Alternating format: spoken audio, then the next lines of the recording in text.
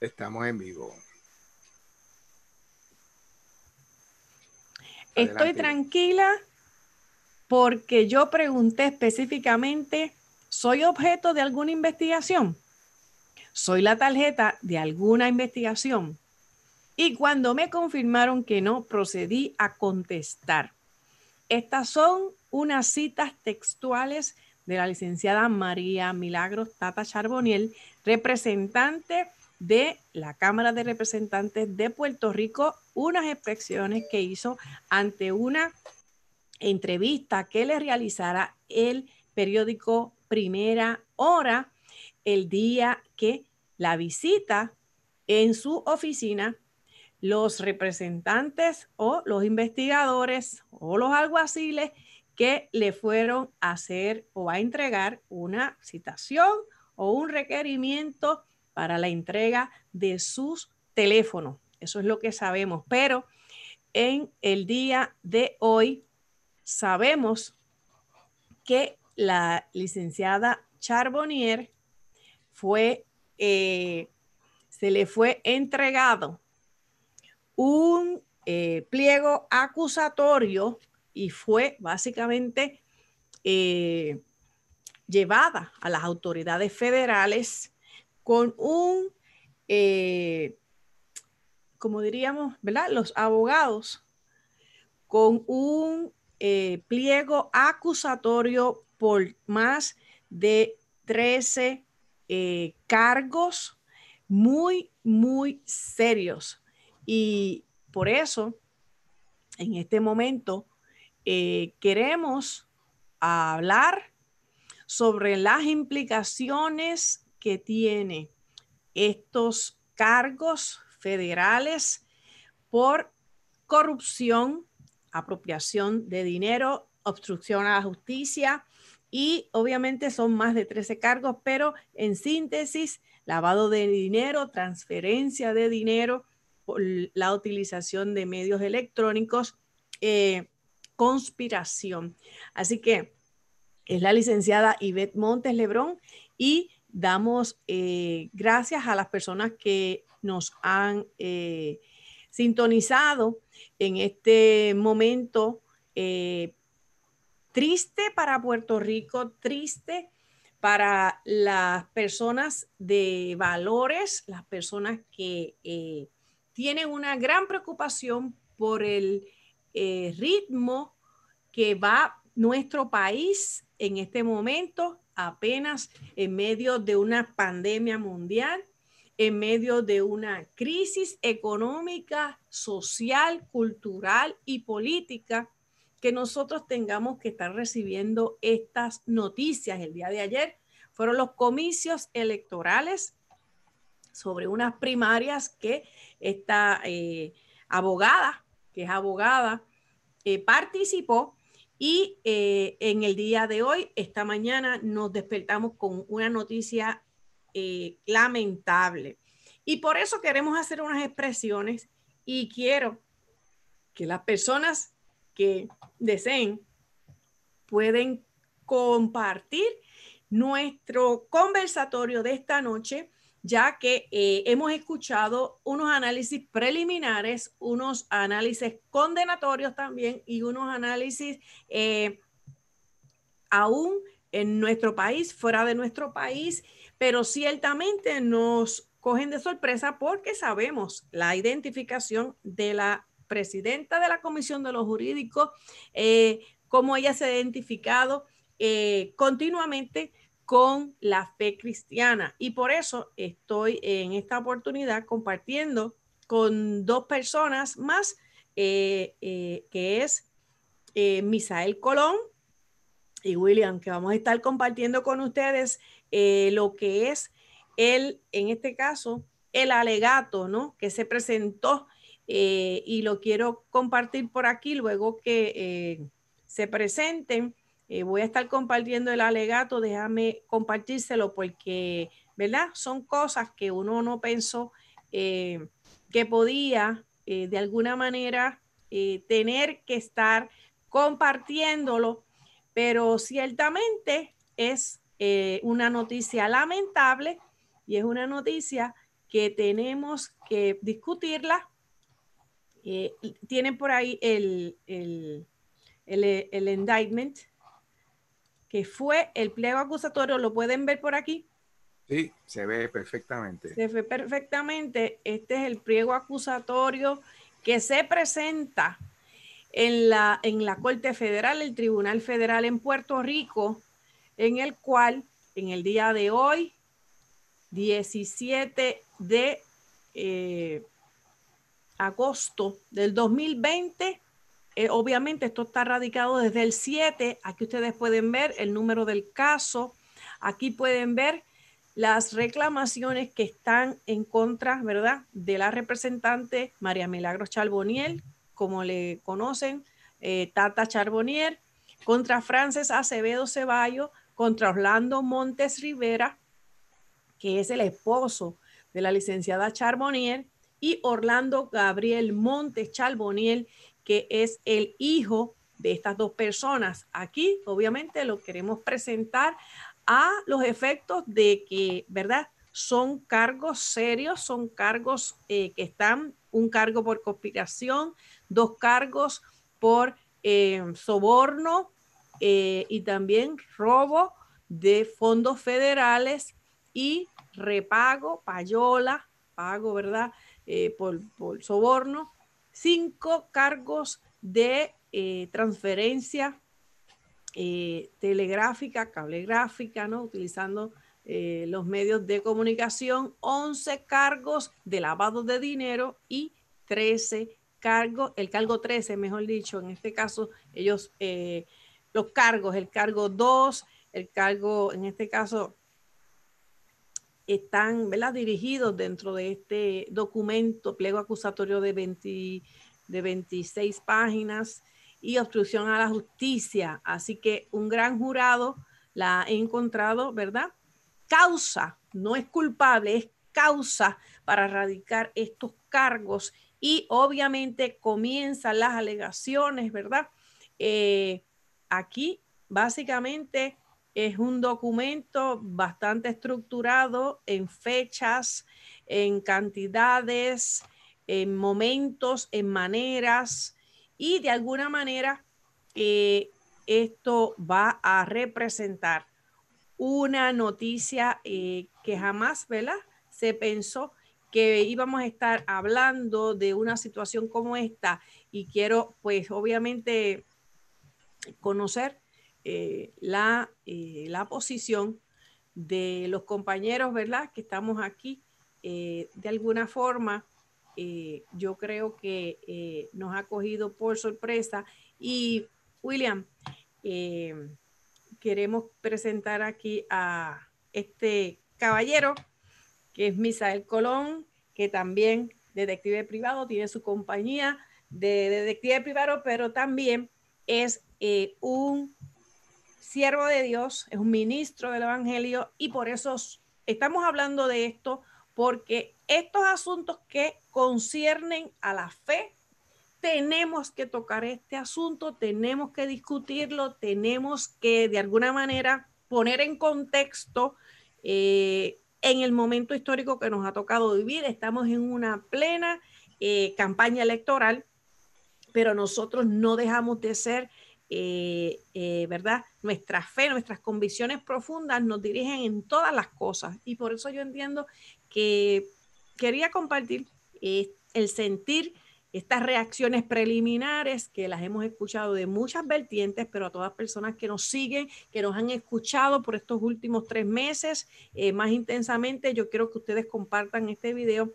Willy, quiero que, quiero que lo compartas también con, en Facebook, si te es posible, para el público sí, general. ya, ya está saliendo. Ya está saliendo. Así que, eh, ¿cuáles son esas primeras reacciones? Eh, Primeramente, eh, Misael, eh, sé que eres por más de 34 años, eres ministro del Evangelio del Concilio de la Piedra eh, Angular, Angular. Sé que tienes tu propio compañía de investigación, que eres detective privado, sabes de los cargos que estoy hablando, ese es tu pan nuestro de cada día. Y sobre todo también sé que eres eh, un miembro activo del Partido Republicano en Puerto Rico. Y eso es bien importante que todo el mundo conozca qué posición tenemos. Nosotros no, no tenemos, este, eh, somos muy claros en lo que hemos hecho y hemos eh, tenido un récord de más de 15 años en los asuntos que convergen y afectan la libertad de conciencia, la libertad de expresión, eh, la gobernanza, los derechos de la libertad religiosa, eh, la libertad de conciencia y nuestra participación activa en lo que es la, el poder traer los principios eternos, ¿verdad? En todos los asuntos que ayudan al desarrollo de un país y una sociedad estable y próspera. ¿Qué te ha parecido esta noticia? Porque sé que hiciste un editorial y nunca habíamos compartido directamente, pero entendí prudente eh, compartirlo. Ya habíamos estado hablando porque estamos en tiempo de pandemia y en tiempo electoral. ¿Qué te parece? Muy lamentable lo que hemos, hemos visto en toda esta situación con la licenciada Milagros Charboniel. Eh, todos sabemos que los plagios acusatorios que se hacen en los tribunales federales se presentan ante primeramente ante un gran jurado. Y si el gran jurado te, declara culpable, pues van a ir a tocarte a la puerta de tu casa y te van a dejar saber. Por ejemplo, en el caso de ella, ese en este caso, obviamente, no, no es culpable, ¿verdad? Es que ellos determinan si hay causa, eh, ¿verdad? que la gente regularmente lo comprende de esa manera, pero obviamente eh, el detective privado, ¿verdad? Obviamente uno, pues la jerga legal es que van ante un magistrado y determina causa. Obviamente. Hay presunción de inocencia y hay muchos derechos que nos aplican a todos. Y como entiendo lo que quieres decir es que alguna cintilla ¿no? de evidencia hay para ir a la próxima etapa. Sí, porque mayormente cuando viene una orden del magistrado, por ejemplo, en el caso de ella, que fue para tomar primeramente los celulares, eso fue lo primero que ocurrió, sí, que fue para tomar los celulares. Eso es una orden para tomar específicamente esos celulares porque ya previamente se estaba haciendo una investigación y lógicamente pues hay que tener pues todos los, los, los por mayores y los pormenores de ese caso en particular. Luego, vi, luego vimos lo que ocurrió, que ya era, que ya la habían declarado culpable y que entonces tenía que presentarse arrestada frente a un juez. Pero todavía... Bueno, por eso es que trato de interrumpir en el concepto de culpable, eh, causa para arresto. Fíjense, causa para arresto de los cargos.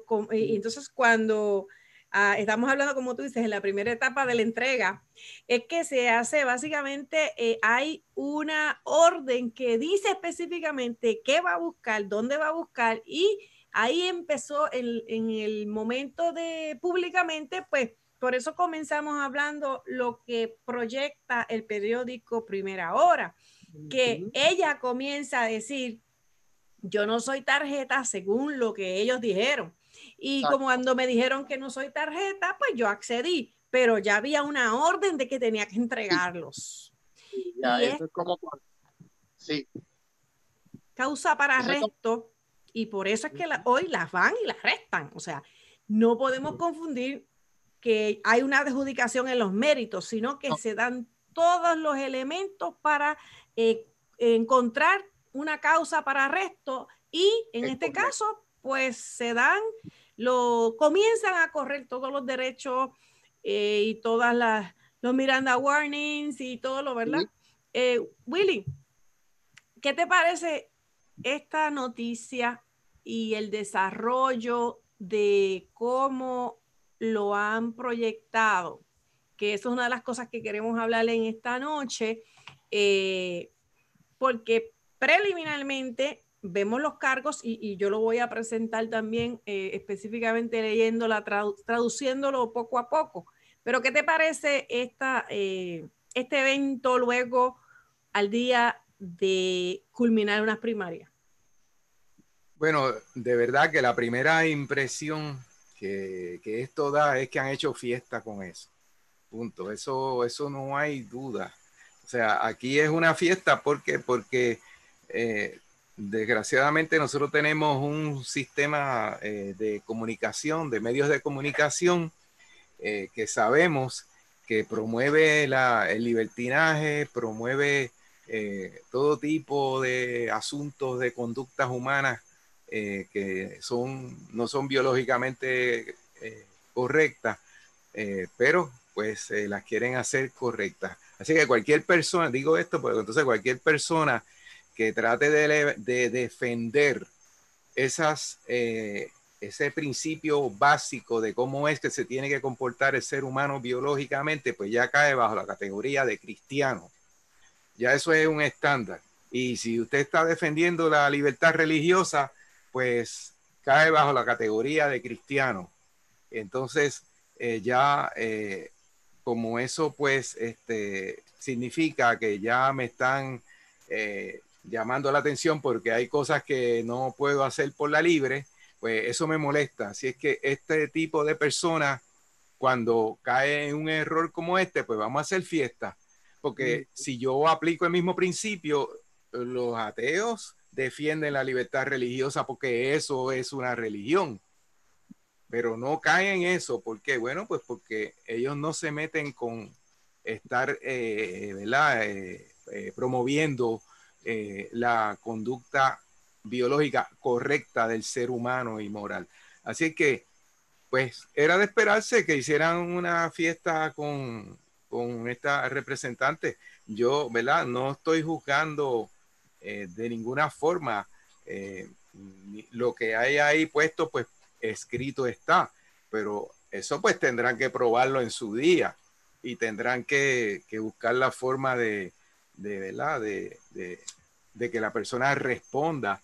Eh, pero por el otro lado, pues sí me choca porque han hecho fiesta con una persona y quienes han hecho fiesta, pues precisamente todos los medios de comunicación y todas las personas, porque esta no es la primera persona que hace, que comete un error como ese. O sea, los que hemos vivido en esta isla los podemos mencionar con nombre y hay muchos que han corrido hasta para eh, gobernantes haciendo cosas parecidas, ¿verdad? Y hoy están corriendo como comisionados residentes, pero para que uno no entre en un asunto de política, pues están haciendo fiesta. ¿Por qué? Por lo que acabo de decir. E-, esa es mi impresión de esto, así a la solta.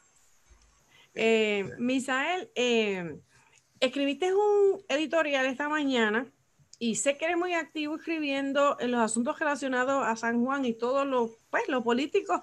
Eh, sé que no sé si habrá visto, pero a mí me está muy, muy raro el que eh, solamente, ¿verdad?, se haya procesado después de la primaria a una persona que ha acaparado básicamente toda la noticia del día, es más, ha opacado el asunto de las primarias, la ha, ha opacado, o sea, por las razones que sean, son asuntos importantes, porque la gobernadora, pues, obviamente perdió, ¿verdad?, su, su aspiración en primaria. Son noticias súper importantes. Eh, lo que está ocurriendo en los partidos emergentes, todo, el desastre que ha ocurrido con las elecciones, ¿no? Eh, el edificio, como digo yo, la corporación de la Comisión en total de Elecciones. Y, y que esta mañana, a las 7 de la mañana, aparezcan en casa de esta persona que se identifica con los valores cristianos y todo el día, todo lo que se ha hablado es de esto. A mí me está muy, muy lamentable. Es obviamente horrendo lo que está ocurriendo por la corrupción que nos está dando tanta mala fama en Puerto Rico y no en Puerto Rico, fuera de Puerto Rico. Pero también tengo que decir que el departamento, el FBI o el Federal Bureau of Investigations no es las eh, como decimos, no son las eh, hermanitas de la caridad en términos de que en estos últimos años han estado, la cúpula del FBI ha estado totalmente desacreditada por cómo planifica y ha planificado entrampar hasta los, en este caso, un candidato político a la presidencia que sabe que le plantaron un investigador adentro en medio de la campaña. Así que con nuestras profundo sentir, nosotros denunciamos la corrupción, eso es un, eso es robar. Eso no hay excusa si tú crees, si tú no crees, más aquellos que toman, ¿verdad? Un manto de cristiandad. Por eso los políticos tienen que tener cuidado. Tú tienes que llevar por tus méritos. No, tú no te puedes montar y tener un manto de una religión para alcanzar un propósito, porque después se va a tirar por el piso eso mismo y vas a ser causa de que acusen a aquellos que tú dices que crees. Pero a mí me está, no sé, tú has estado mucho tiempo en investigaciones, tú has estado mucho tiempo. Eh, ¿Cómo ves que se movió eso? Lo más, lo más que a mí me sorprendió fue que de la noche a la mañana se preparó este plagio acusatorio y en el día de hoy el fiscal que estaba explicando todo no dijo, bueno, es que llevábamos esta investigación hace un año, hace tres meses, hace cuatro meses. En ninguna parte de la entrevista que tuvo con los periodistas en el Tribunal Federal, él explicó cuánto tiempo era que llevaban haciendo este tipo de investigaciones. Cada, cada investigación lleva un tiempo. Hay investigaciones que pueden llevar un año, dos años, hay otras que pueden llevar tres meses, cinco meses, ocho, eh, diferentes, ¿verdad? Entonces, en el caso de, la licenciada María Charboniel, eh, es bien resonante en la prensa eh, de nuestro país, lamentablemente, que ya no tenemos prensa, porque por eso es que estos medios existen, los medios de, la, de las comunicaciones, porque si los medios callan, entonces los la internet habla. ¿Ves? Y por eso la gente está haciendo ahora, eh, existen live, existen un montón, un montón de, cosas por las cuales tú te puedes comunicar y llevarle la información correcta al mundo. Eso es al mundo. Entonces, tenemos una prensa polarizada totalmente y que cuando ocurre una situación como en el caso de, de, de Milagro Chaconiel, que es una, que ha sido una, una defensora pro valores, una defensora pro vida y una persona que se ha identificado con el sector religioso cristiano, pues entonces a esa le tenemos que dar esa noticia, tenemos que quemar esa noticia por lo menos dos semanas, tres semanas y hasta un mes.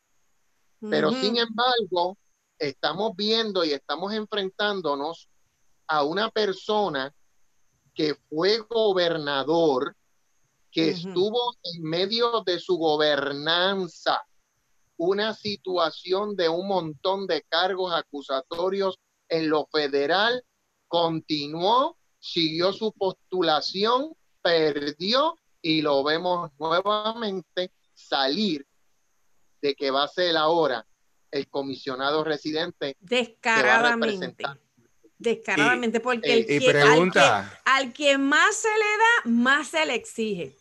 ¿Y renunció o no renunció a su cargo? ¿Ah? no, la pregunta no renunció. Es, ¿verdad que no, renunció? ¿Y por qué le están pidiendo la renuncia a la este, representante? exactamente. Ese es un detalle que todo el mundo se une, porque del árbol caído, pues todo el mundo hace leña, ¿verdad? Este, y todo el mundo se une, no, tiene que renunciar, no tiene que hacer esto, no, entonces la prensa se ha dedicado, mira cómo ha sido esto, que cuando estaban lo de los resultados eh, ayer, antes de que finalizara un canal de televisión, que yo tengo la prueba porque yo tengo la foto en el celular, ellos pusieron la ventaja del licenciado Pedro Pierluisi en Wanda Vázquez. Y los números que hacían que Wanda Vázquez eh, iba a perder se los pusieron al licenciado Pedro Pierluisi. eso fue antes de que se acabara esa transmisión de esas noticias en ese canal. Entonces, cuando tú ves eso, yo le tiré foto y yo dije, si una persona que no sabe mira eso que está en la pantalla, eso es lo que va a creer. Entonces, todo es una manipulación y todo es el engaño. Por eso es que lamentablemente en nuestro país yo le he escrito a todos los que se llaman pseudoanalistas. Se los he escrito por internet, se los he enviado por correo electrónico, se los he escrito por Messenger. Mira, dame propuestas. Tú criticas y criticas y criticas y criticas y condenas, pero tú me tenías a mí más de 10 contratos en la administración pasada, tú me tenías a mí ciertos contratos en otra administración pasada y ahora entonces tú eres analista. ¿Cómo es posible? Entonces, todo es eh, criticar. falta de, una falta de credibilidad, es una falta de credibilidad, una falta de, de, de, o sea, se creen que la gente es tonta, o sea, los ineptos, como han sido los, esos dos gobernadores, unos ineptos, eh, verlos y los uso a ellos porque están haciendo, supuestamente, ahora están asesorando al gobierno, asesorando al pueblo cómo resolver los problemas, asesorando a los que están en la posición y por qué no lo hiciste cuando tú estabas. O sea, yo lo que voy a presentar aquí para los que nos están escuchando y nos están viendo, vamos a compartirle eh, el, pliego acusatorio para que vean exactamente cuáles son los cargos que le están, eh, que le están, ¿verdad? Poniendo a, a, la... que, le, están adjudicando.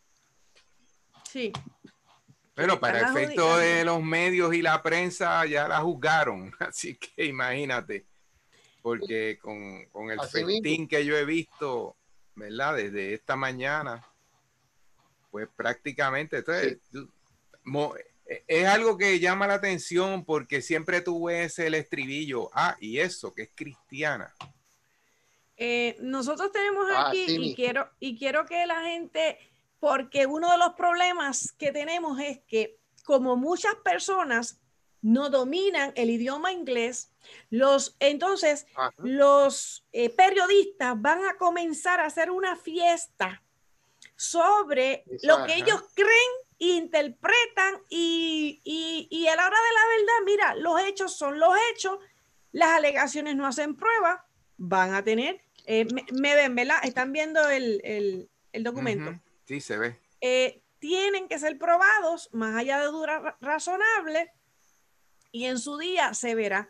Pero el hecho de que nosotros comencemos, ¿verdad?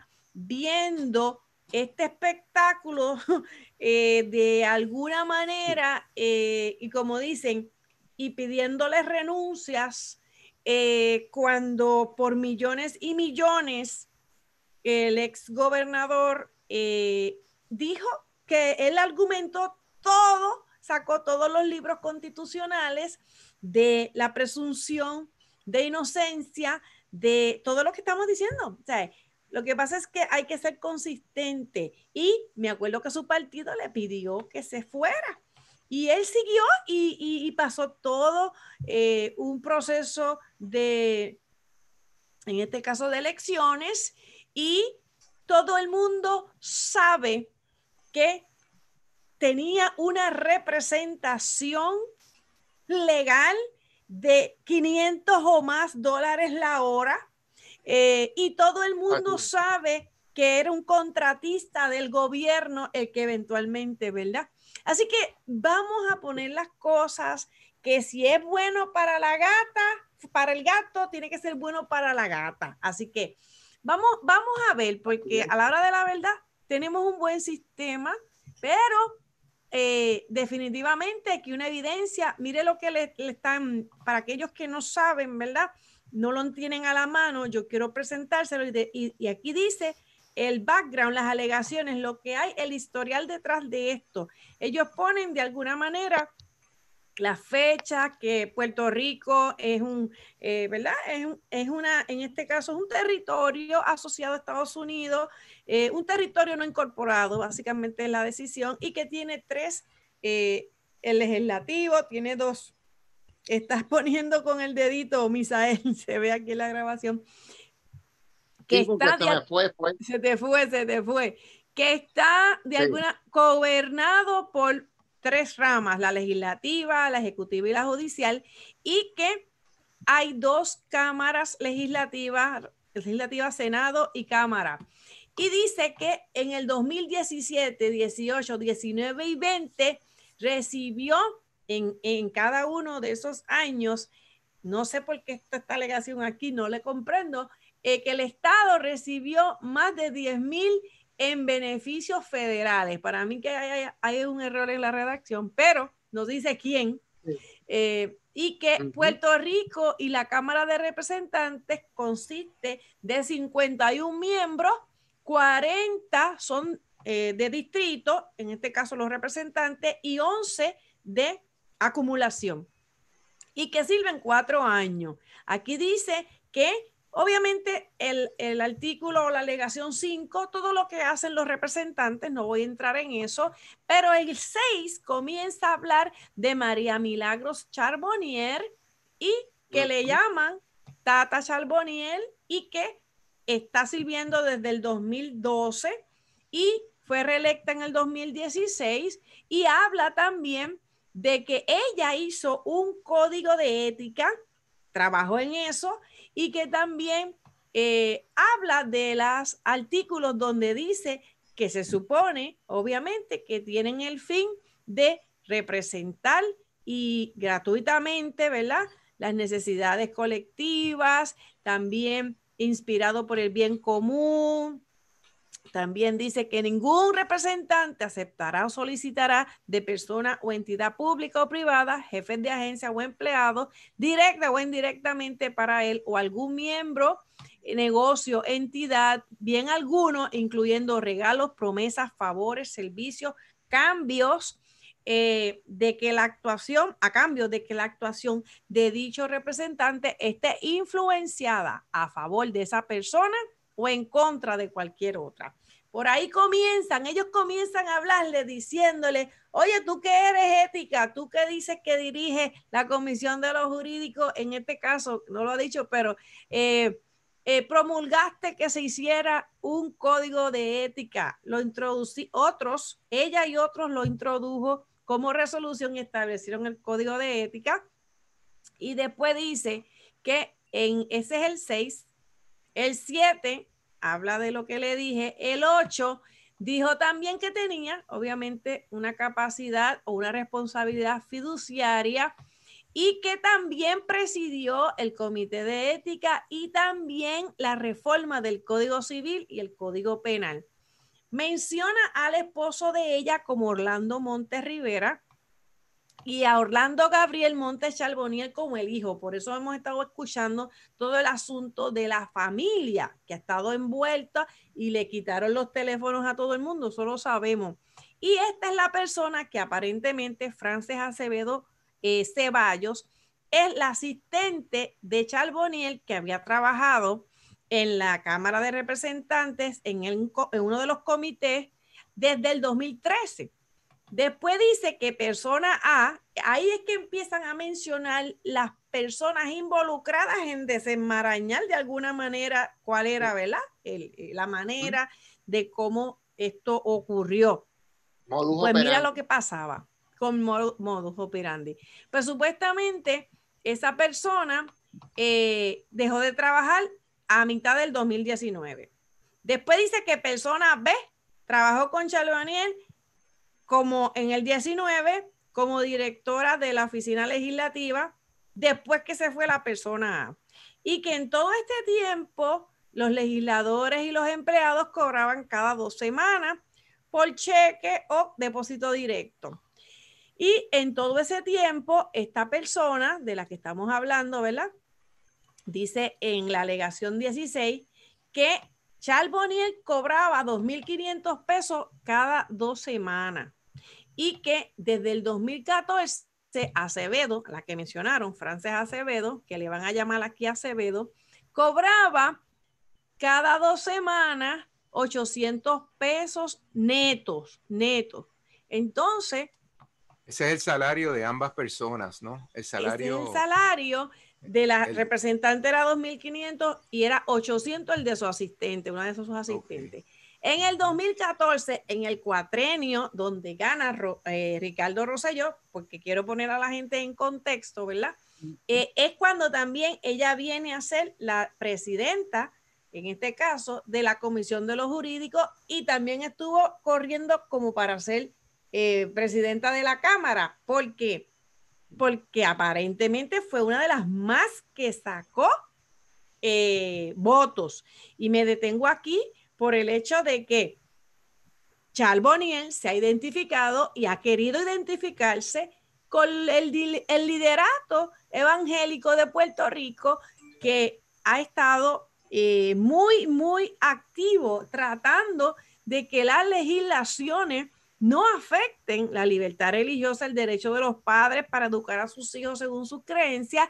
Y Ricardo Rosselló se montó en la ola de las promesas al pueblo cristiano. Y por eso estoy mencionando esto, porque ella, si no me equivoco, fue una de las más que recibió votos como legisladora. Por eso era que quería de alguna manera eh, jugar, ¿verdad? Eh, experimentar con la posibilidad de llegar a ser eh, presidenta. obviamente tú sabes más de política, este, Misael, si hay algo que yo estoy diciendo, ¿verdad? Que no es real como exactamente pues me lo dicen. Pues mira lo que pasó correcto. aquí. ¿Verdad?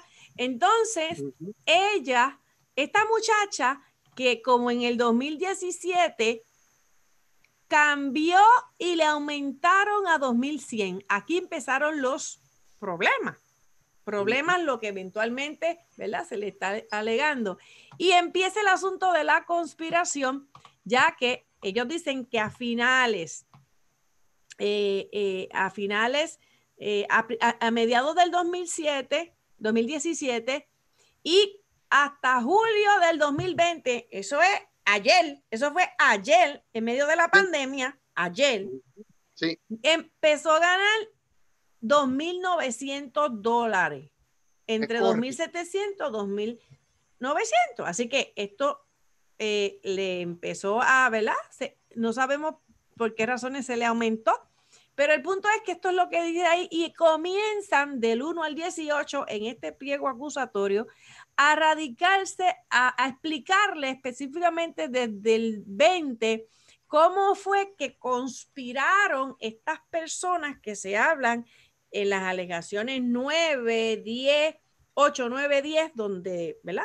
El esposo, el hijo y la muchacha esta empieza entonces a, ver que ellos decían que supuestamente se habían apropiado de eh, dinero federal, aquí dice, concerniente a programas de eh, fondos federales. Fondos federales.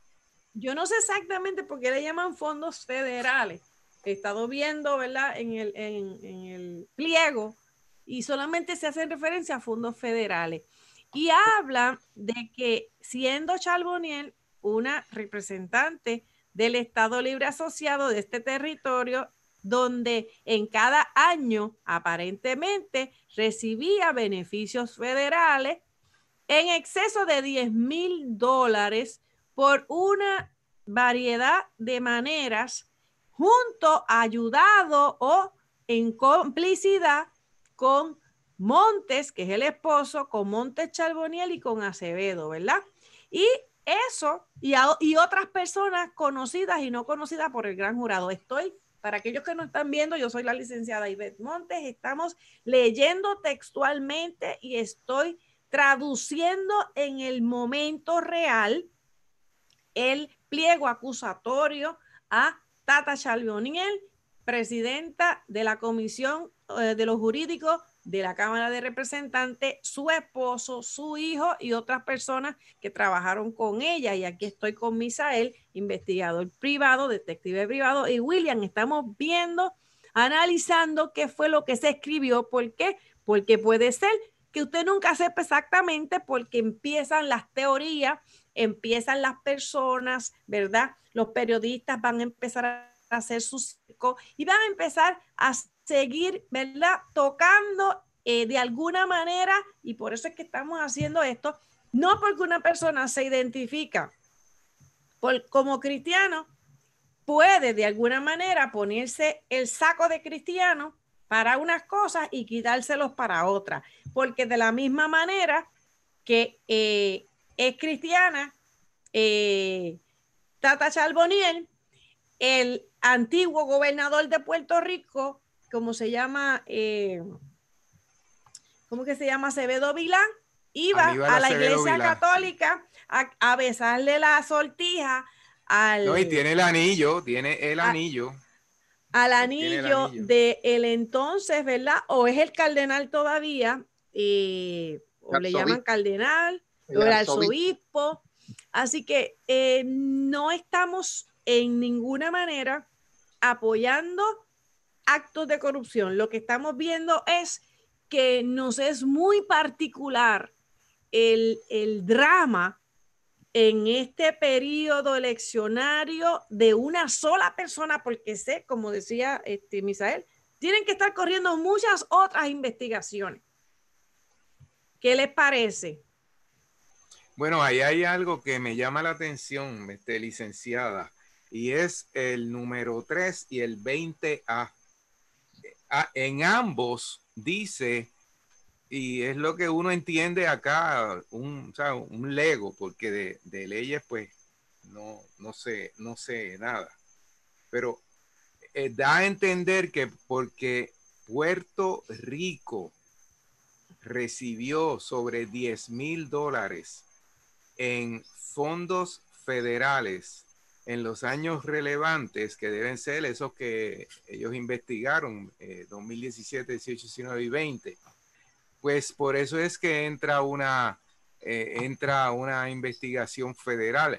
Lo, lo, que entonces, si es así, pues entonces van a tener que aumentar eh, la cantidad de agentes porque pueden entrar a todos, a todos lugares, porque ahí dice Puerto Rico lo recibió. Ahí no está diciendo lo recibió la Cámara, ahí dice Puerto Rico. Y si eso es así, pues entonces tendrá que investigar a todo el mundo. Ah, o sea, o eso es una puerta para entrar en todas las investigaciones. y si eso es así, ¿por qué no lo han hecho? No, a lo, mejor, eso es un asunto de, jurisdicción. Técnico, no sé. Es un asunto de jurisdicción. Ciertamente, eh, ellos están eh, provocando el punto es el momento. Y eso, eh. ¿verdad? Me, me llamó mucho la atención, el momento. Y como hemos visto que los partidos políticos entran relativamente pobres y salen ricos y millonarios, eh, eh, esas son las cosas que me preocupan cuando sin básicamente comenzando esto ya eh, quieren destruir a una persona con unas alegaciones. Y cuando volvemos, y perdónenme que lo digamos así, pero el hecho es que porque una persona eh, tenga una posición como es la de gobernador, porque acuérdense, han habido un montón de otros cargos para muchas personas más, azules y rojos. Eh, lo que pasa es que unos saben robar y otros no saben robar. Entonces, vemos de alguna manera que aplican las reglas constitucionales de la presunción de inocencia solamente a los que pueden argumentarlo, ¿verdad? Y pasar en este momento que deberían darle vergüenza, estar hablando y dando consejos y corriendo nuevamente, como es este gobernador, ex gobernador, y lo decimos así porque fue cargos, fueron radicados cargos en su contra. No es cualquier persona, es un abogado con cargos en su contra. No, y da, verdaderamente es penoso cuando uno ve un ex gobernador como García Padilla viendo, viéndolo y escuchándolo en los medios ayer, eh, dando, dando sus consejos a otros, cuando verdaderamente es un gobernador que lo menos que debiera hacer es irse para su casa y buscar un trabajo y, y olvidarse de la opinión pública, Pública. porque lo que hizo en esos cuatro años no tiene precio en cuanto a los asuntos morales y en cuanto a los asuntos económicos, ¿qué hizo? Entonces, ¿por qué lo tienen ahí? ¿Verdad? ¿Por qué lo tienen ahí? Eso verdaderamente eh, es Sí. penoso, es penoso. O sea, uno escuchar, uno tiene que escuchar ese tipo de personas como, como si fueran. ¿sabes? Tienen que hacer esto porque esta es la forma de hacerlo, como, Como si él lo hubiese hecho también. Sí. Como si nunca hubieran gobernado.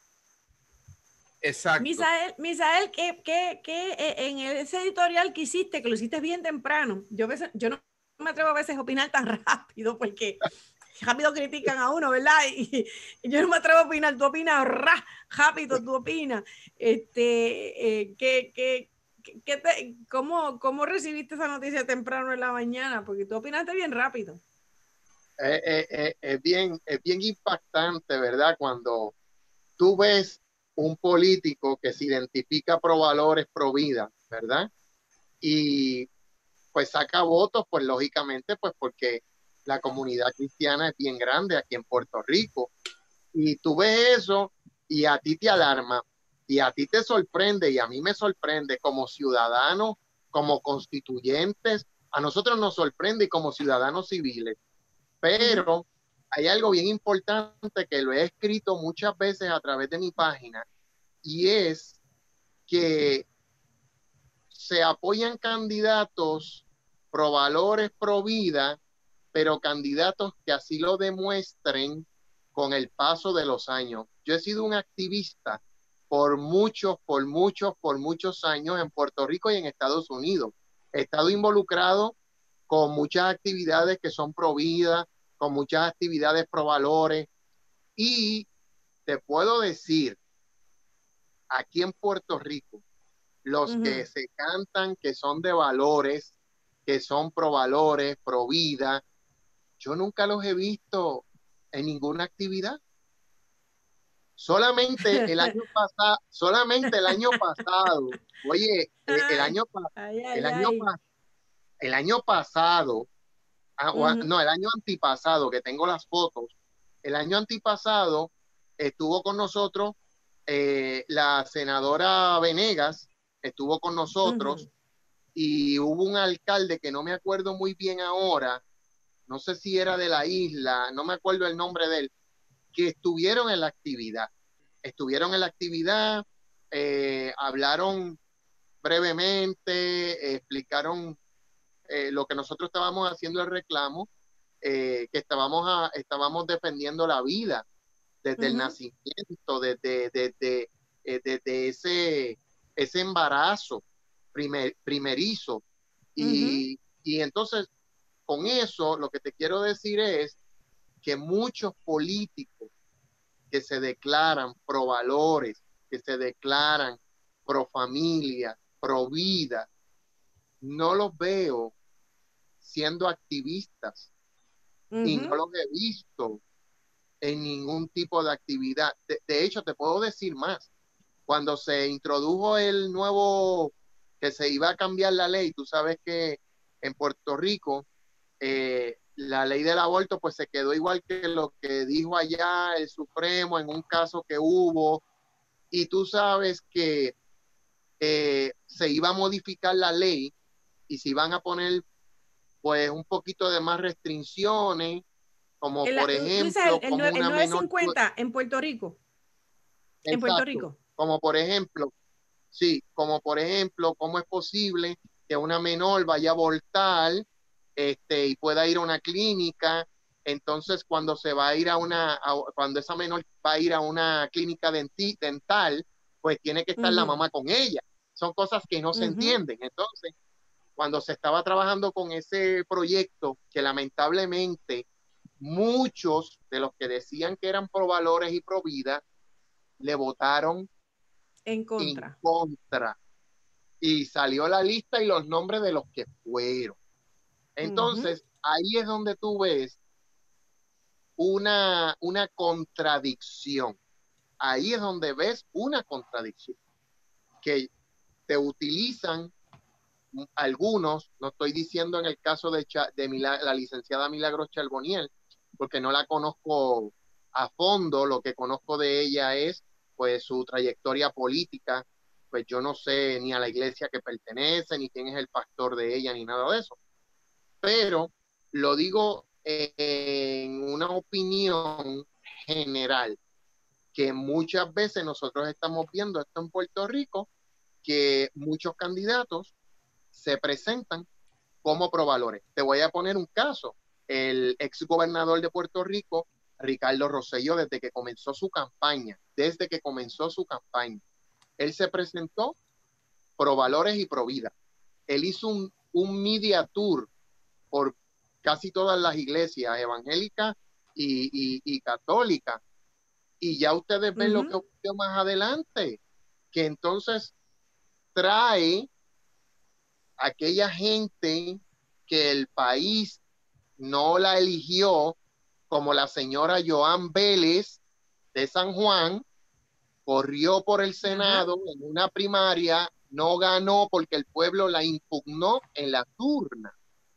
Ricardo Rosselló la trajo para, para trabajar en la oficina que él llamó Oficina de Asuntos LGTB de la oficina del gobernador de Puerto Rico.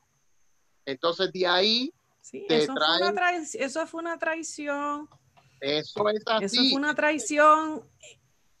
Te traen a Albita Rivera. Albita Rivera es una, la enemiga número uno del pueblo de Dios y del cristianismo.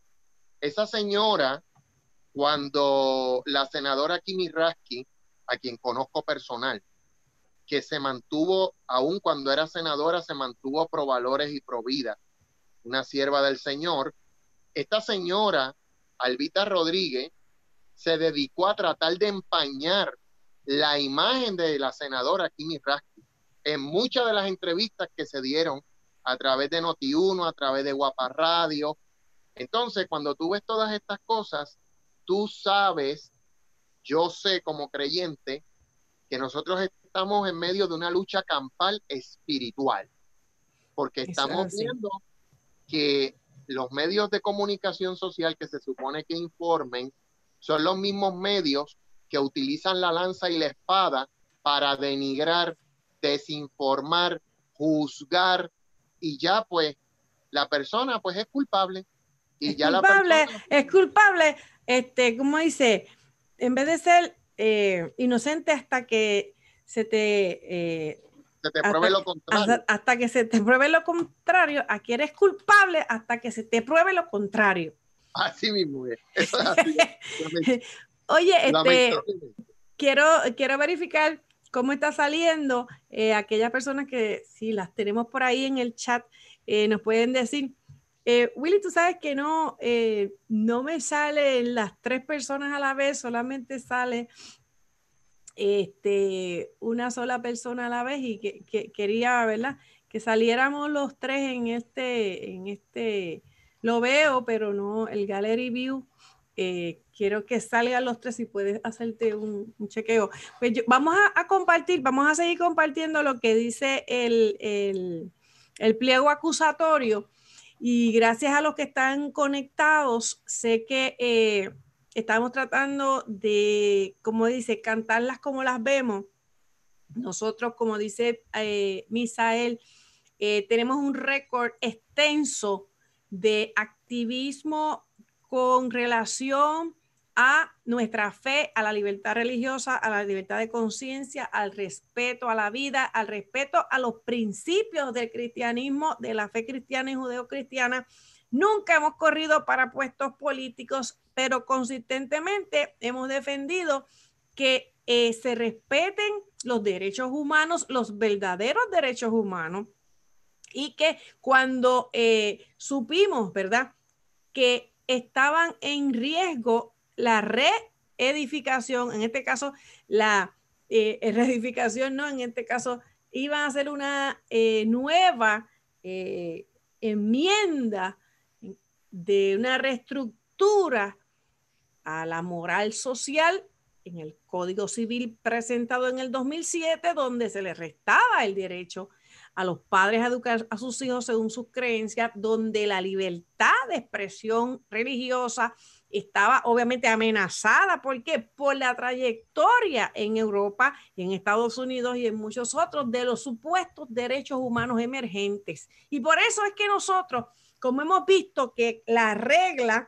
y la vara es diferente para cuando tú te eh, identificas con los valores eternos y trascendentales, pero cuando tú dices y redefines lo que son derechos humanos ahora el nuevo valor moral que es eh, la liberación sexual, pues entonces tenemos que mirar con la misma vara y medir con la misma vara los derechos humanos, los derechos civiles, las presunciones de, de inocencia y no coger ningún partido político, ninguna persona que se tire al ruedo político no puede coger los principios eternos para decir que esa persona, porque es cristiana, merece que usted la ponga ahí. ¿Por qué no?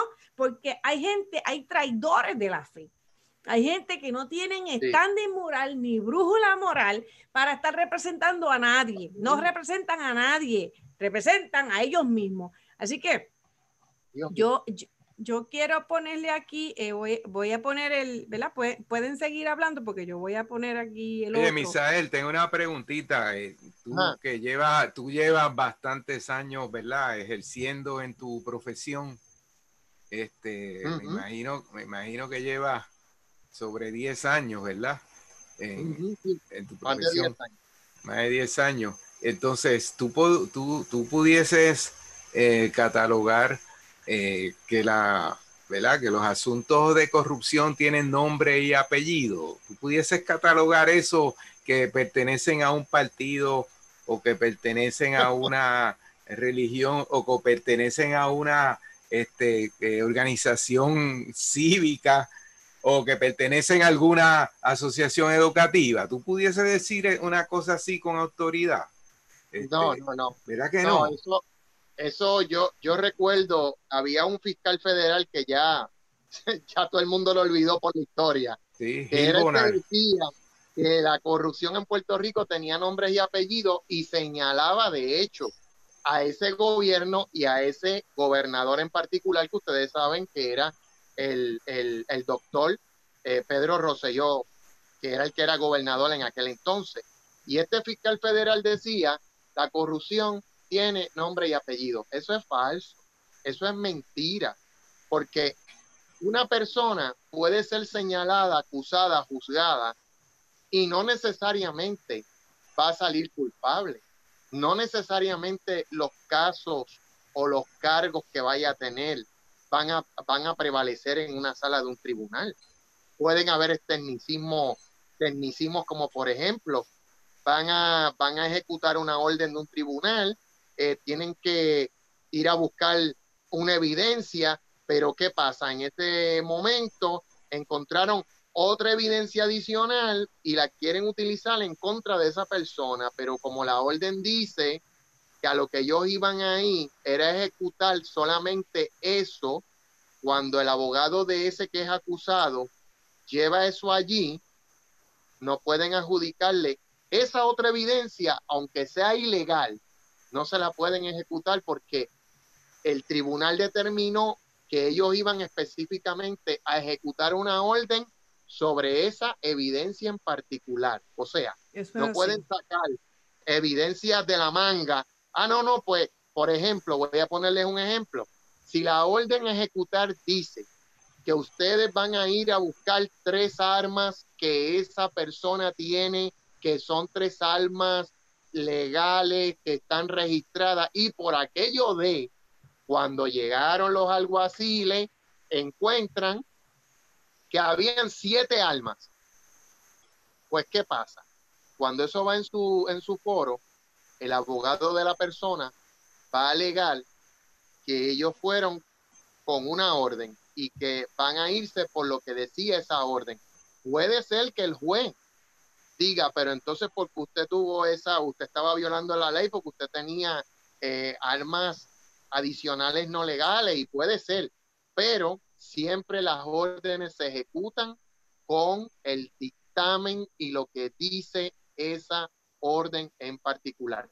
Entonces, en el caso de María Milagro Charboniel, ustedes saben que primero fueron los celulares, se incautaron los celulares, ella dijo que no era objeto de tarjeta, que no era objeto de ninguna investigación en ese momento, y ya luego vemos lo que ocurrió cuando ya proceden con una orden de arresto porque un jurado determinó que de acuerdo a la evidencia que presenta Fiscalía Federal en contra de Milagros Charboniel y su familia en ausencia, esto es en ausencia, el jurado determina que ella tiene que presentarse ante el juez y tiene que ir, hay que irla a buscar y, hay que, y tiene que ser arrestada, ella y las dos personas. O sea que también en esa orden iban las personas, ahí estaban puestas las personas que iban a ser arrestadas.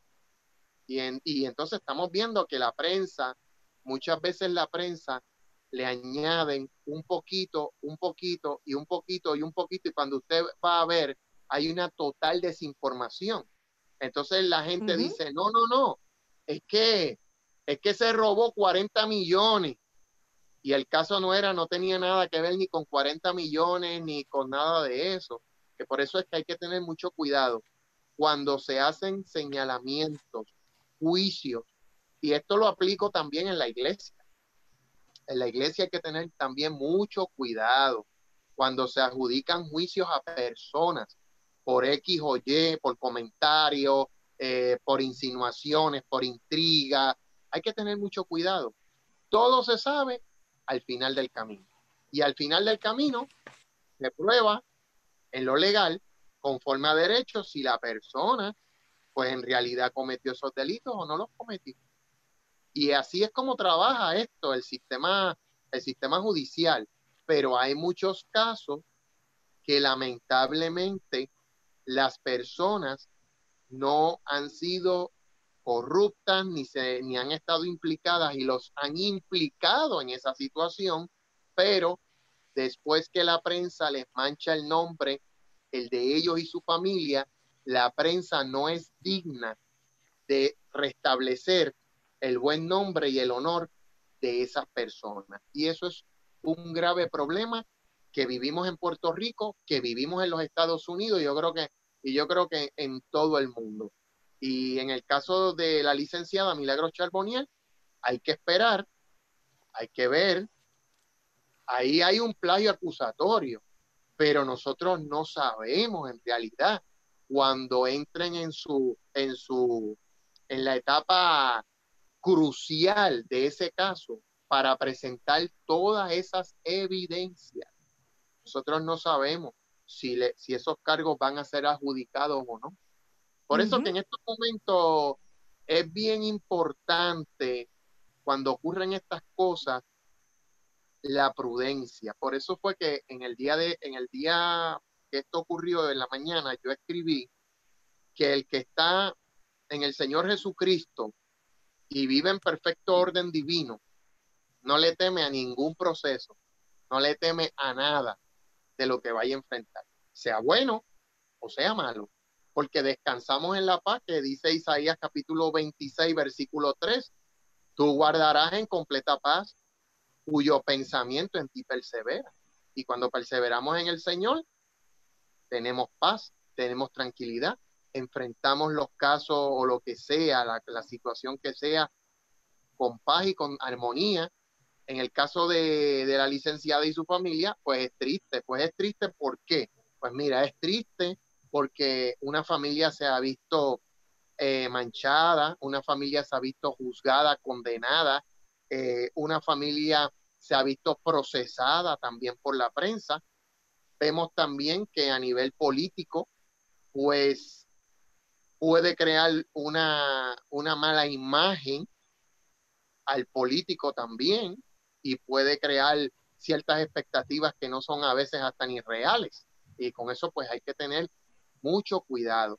Por eso que si ella me hablara a mí, que yo no la conozco, no sé quién es, Lo primero que, que yo le diría es que le pida dirección al Espíritu Santo, se busque una buena representación legal que pueda presentar en su justa perspectiva si ella es inocente y que todo ese proceso se lleve de la mejor manera posible y que se puedan ver las evidencias, si es que las hay, si no es que las hay, porque muchas, muchas veces los casos están llenos de, de, de, cosas, a veces, no, porque salió, porque este, ahí estaban haciéndole la vigilancia, pero sí, agarró el celular, pero llamó al celular, pero tú no sabes con quién estaba hablando en ese celular, o tú no sabes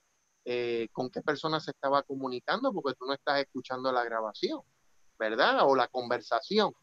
Esa es presunción. oye, oye, Misael, ¿tú, ¿y tú crees que, que, ella se haya inventado de su mente eh, esta, estas formas y eso que dice ahí es cierto? Eh, de hacer ese tipo de desvío de dinero. ¿Tú crees que eso haya salido de la mente de ella, que, ella, que eso nunca había ocurrido y ella se sentó y hizo ese tremendo eh, flujo de dinero y cómo iba a ser la cosa? ¿Tú eh, como que nadie eso nunca lo había hecho y ella se sentó y dijo, bueno, yo voy a hacer esto, aquello, lo otro. primero, primero que nada, estamos hablando de una persona conocedora de la justicia y de la ley. Estamos hablando de una persona que ha estado en el gobierno por los pasados últimos años. Estamos hablando de una persona que sabe que la corrupción gubernamental es procesada y penalizada por nuestro sistema estatal y nuestro sistema federal. y, por muchos años que ha visto los problemas de la gente que las han metido presa. O sea, pero eso yo entiendo, yo entiendo eso, pero la línea mía va por otro sitio porque eh, eso, eso, eso no se lo puede haber inventado ella. Eso tiene, eso hay cosas que la gente hace porque dice, aquí todo el mundo hace eso y no pasa nada. Entonces, se siguen copiando y entonces ahí es que la investigación viene y escoge a quién yo voy, de todos los que hacen eso, a quién yo voy a escoger y con qué propósito. Ese es el punto mío. Sí, es correcto. ¿Y por qué te escojo a ti, X, y no escojo a Y? Eh, o sea, porque si le damos para atrás al tiempo, estamos, yo veo en ese pliego que está la familia completa, pero en el caso del exgobernador, él tenía la familia completa también, tenía hasta su mamá también, ¿verdad? Metido en todos esos asuntos pero ahí no pasó nada. Así que, ¿hasta dónde llega esto y cuál es el criterio y, las mentes que dirigen esto? ¿Por qué lo hacen de esa forma y por qué van a unos sí y a otros no? ¿Verdad? Porque hay cosas que uno entiende, porque siempre quieren coger al, ¿verdad? Al de más alto rango para que le dé un susto a todo el mundo. Pero y cuando hay muchos de alto rango, ¿a cuáles cogen y por qué? Eso es así. Esa es la pregunta que yo me hago.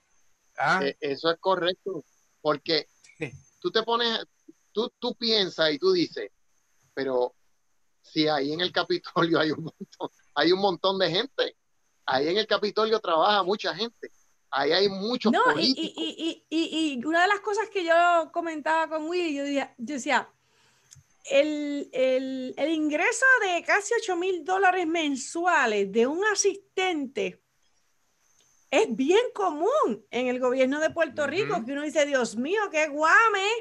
Cualquier asesor legislativo, cualquier abogado en Fortaleza, cualquier persona gana con trabajo, con título y sin título. Ah, y no se digan en los municipios. Cualquier personaje se gana 5 mil, 6 mil, 7 mil, 10 mil dólares mensuales. O sea, esta es la vergüenza de nuestro país. Lamentablemente. que una población apenas se gana mil dólares mensuales, entonces tenemos una casta que se ganan sin título, sin preparación, sin experiencia y mucha de la corrupción es municipal. se reparten el bacalao a diestra y a siniestra. Por eso no me sorprende, es bien común en, el, en la rama legislativa, en la rama ejecutiva y en la rama judicial también lo, lo, o sea, para mí que la rama judicial es la más barata que cobra. porque hay la política, los políticos reparten contratos, usted sabe la cantidad de contratación de servicios profesionales, por eso es que en Puerto Rico se gastan tantos millones y no llegan los servicios directos a las personas. Así que cuando estaban hablando de que de ese, de, si es, si es, si ganaba 2.900, para mí no, no es mucho, no es mucho, pero eh, ciertamente eh, el hecho de que, ¿verdad? Eh, no estamos, obviamente, estamos hablando, tratando de analizar los aspectos que están poniendo y cogiendo a una persona. ¿Y por qué no hicieron una redada completa? No hicieron una redada completa. Porque, porque el pillaje es grande. El pillaje es grande, lo sabemos. Pero lo que nos sorprende es, cómo una persona, eh, Tata Charboniel tiene que dar muchas explicaciones al pueblo de fe. tiene que dar muchas explicaciones. ¿Por qué? Porque ella se representó como tal. Ella se representó como tal. ella siempre se presentó de valores. Tiene que dar muchas explicaciones independientes. No estoy hablando del asunto jurídico, no estoy hablando del asunto, pero eh, tiene que dar explicaciones porque eso no sale de la nada tampoco. Sea, eso no, sale de la nada.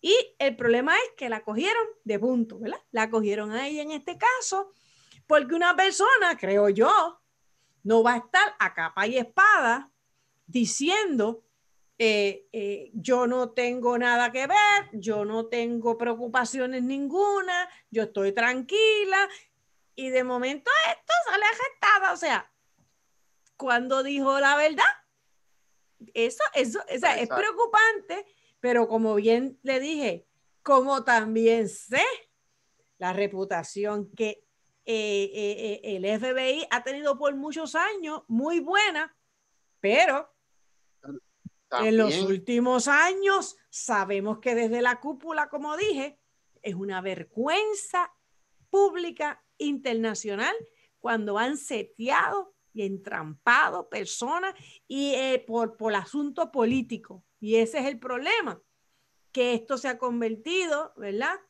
Eh, se ha perdido la confianza en los sistemas y, y, y, todo esto, pues, por eso es que hablamos que tiene que dar explicaciones al pueblo de fe.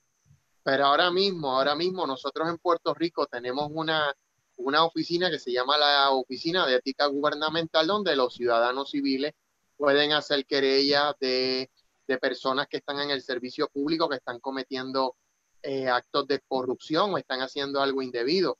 Esta oficina a mí siempre me, me ha llamado la atención porque hace muchos años atrás eh, yo detecté una irregularidad con con una situación en particular donde teníamos videos, fotos, donde vimos todo ese proceso de principio a fin de lo que se estaba haciendo allí, que se estaban utilizando fondos públicos, se estaban utilizando material del gobierno público, se estaban utilizando camiones, empleados, y recuerdo que esa situación la llevamos ante ética gubernamental y nos quedamos esperando sentados un año, dos años, tres años. Ya, ya la persona se fue porque ya perdió, ya en las primarias perdió. Pero lo que les quiero decir es que tampoco las instituciones, las oficinas gubernamentales que tienen que dedicarse a regular y a mantener la integridad pública, sobre todo, no están haciendo el debido trabajo.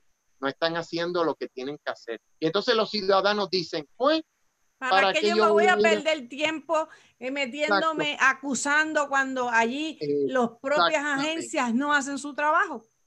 Exactamente. Entonces, el ciudadano civil se retiene y vea lo que vea o, o sepa lo que sepa, no va a hacer nada. O sea, por eso mucha gente dice, ay, ¿para qué yo voy a llamar a la policía si la policía nunca va a llegar? En caso que lo amerita.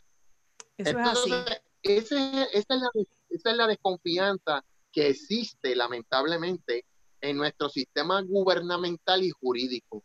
Cuando tú ves en Puerto Rico que el político que está en la gobernanza es el que tiene autoridad de escoger una persona, sea cual sea, y ponerla como juez superior o juez de primera instancia, etc.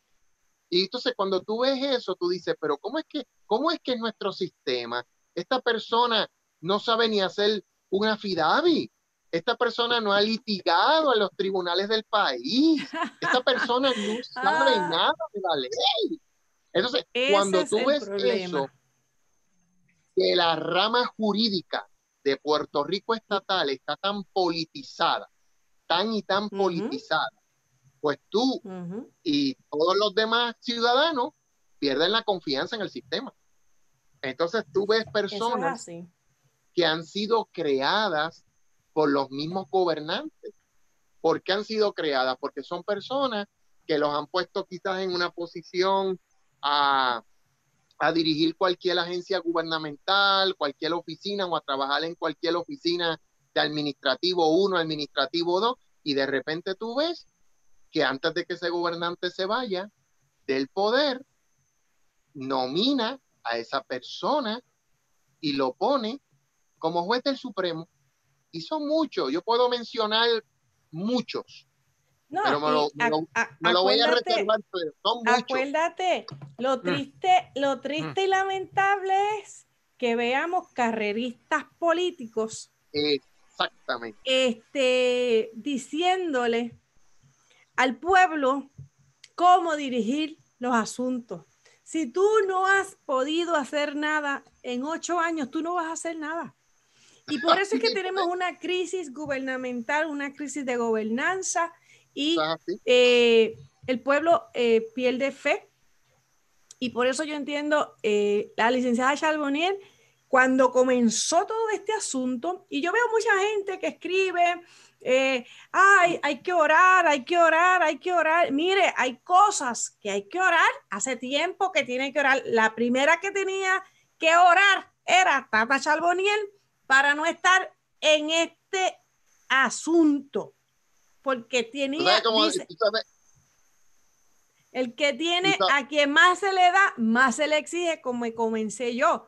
Estamos tratando de eh, analizar este punto porque sabemos que hay muchas eh, vertientes de este problema y no necesariamente queremos decir, ah, ok, a alguien le, le radicaron unos cargos, ya es culpable. No, porque si fuera su mamá, si fuera su hermano, si fuera su tío, si fuera su papá, a usted quisiera que le dieran el debido proceso de ley, a ustedes quisieran que le dieran la oportunidad de expresarse, a ustedes quisieran que le dieran un break. Así que por eso estamos tratando de, analizar desde la perspectiva de que no necesariamente lo primero que se presenta es, un, eh, eh, es o sea, tiene que radicarse y se expidieron, obviamente, las órdenes de arresto, como, como explicó el detective privado Misael, porque ese es el proceso constitucional. Pero también nos sorprende que una persona del calibre y la posición de ella, pues dijera, yo no tengo nada, vengan, investiguen, hagan esto, o será tan ingenua Tata Charboniel. O sea, yo, no, a mí me sorprendió el hecho que ella entregara los, los, los, celulares.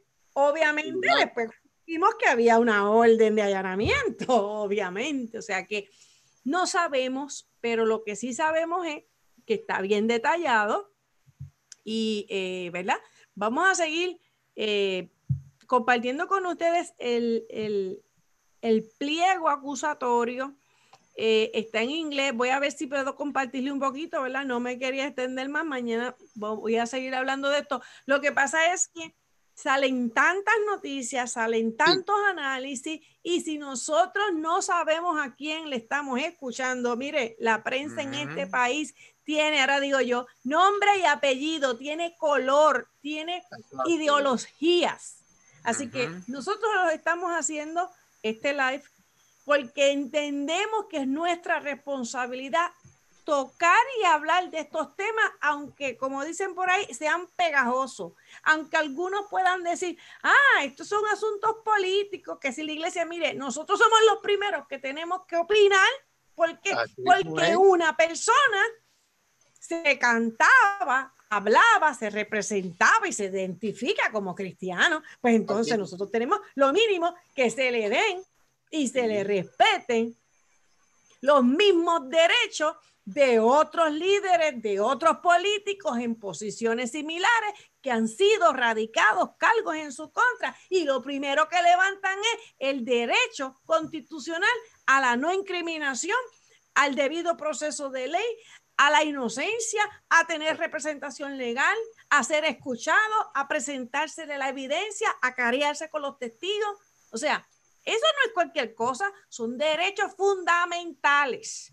Y como vemos que otros grupos están disfrutando, otra gente está disfrutando, pues tenemos que también ser justos en ese sentido. Y eso no quiere decir que nosotros avalamos en forma y manera la corrupción, venga de donde venga. ¿Por qué? Porque eso no nos va a convenir a nosotros, ni a Puerto Rico, ni a nadie. Y en el ámbito espiritual, condenado está. O mentira, robo, abuso de poder. O sea, e, e, eso, el, el nivel de la responsabilidad moral es mucho más alto que la, que la civil, que la criminal. Así que ese es otro tribunal y en ese tendrá ella que dar en su día eh, tendrá que responder. Así que no pienso que esto es un tema porque, que no es casualidad que el día después de las primarias en este país ocurra un arresto. Eso, eso, eso es muy, muy, muy calculado. Así que este, este, les voy a compartir, eh, ¿verdad? Eh, este pliego cruzatorio otra vez. Me dejan saber eh, aquí, como les decía, ellos tienen eh, lo que se le llama bribery, es, soborno. Esto es otro de los cargos, ¿verdad? Que le están diciendo que están supuestamente fueron eh, con la intención de influenciar esta persona, eh, los Charboniel, sabiéndolo o sin saber, el gran jurado dijo que solicitó corruptamente, demandó, aceptó y acordó aceptar para el beneficio propio cosas del, eh, en este caso, la demandante, eh, la demandada, en este caso, from defendant, en este caso ponen a Acevedo como defendant.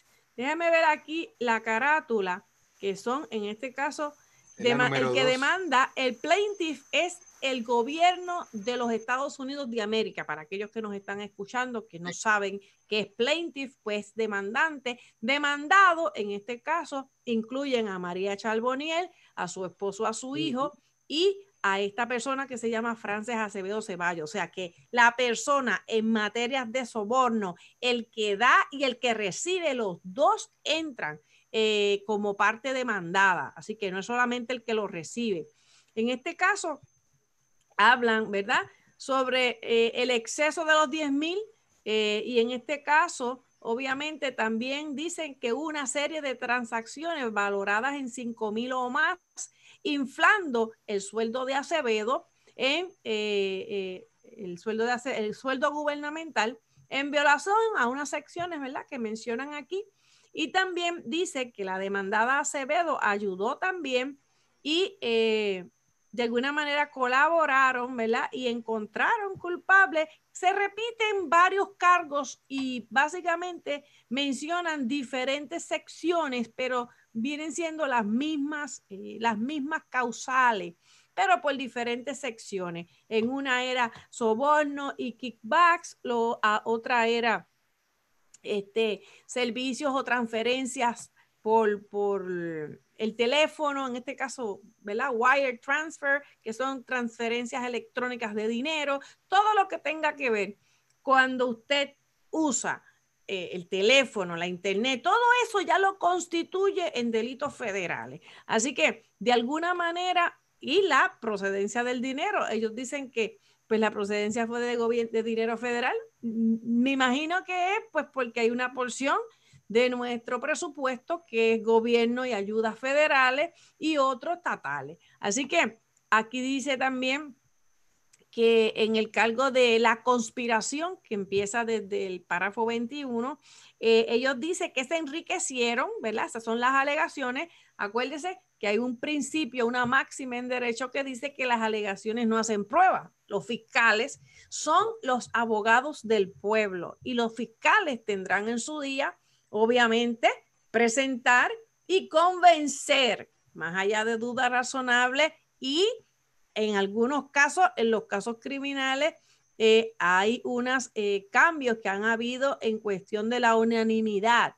Así que aquí hay unos asuntos que dicen que ellos robaron, que obtuvieron bajo fraude, que es sin, autoridad, eh, convinieron usar intencionalmente y aplicar indebidamente, utilizar indebidamente dinero que fue en este caso o estuvo bajo la custodia y el control de los estados de Puerto Rico, del, del Estado Libre Asociado, y que fraudulentamente inflaron porciones del salario gubernamental.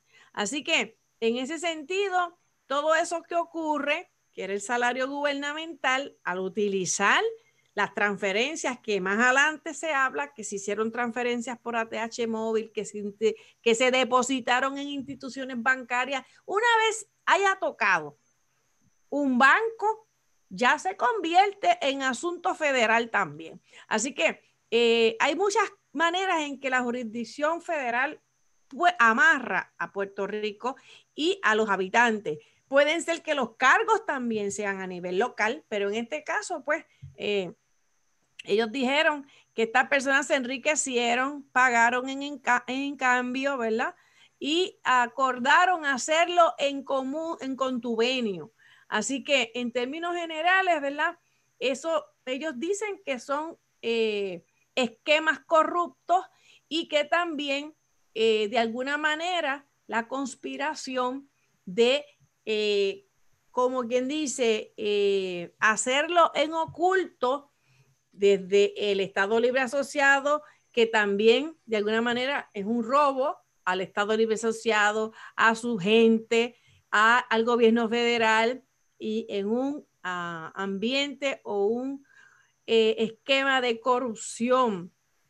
Y decían, y ahí empiezan a hablar desde cuándo empieza, como les dijimos, desde el principio del 2007, después eh, lo que le dije, vuelven y lo repiten en el 26. Ellos hacen unas alegaciones generales, después empiezan a dividirlas por tema y básicamente lo que hacen es repetir, ¿verdad? Y empiezan a hablar de institución financiera 1, institución financiera 2 y empiezan a decir que el kickback o el pago a cambio de o el regalo eh, era de mil a mil quinientos cada vez que se inflaba el salario. O sea que decían que cada vez que se hacía esa transferencia era de mil a mil quinientos dólares. Obviamente, de esos 2.900, ¿verdad?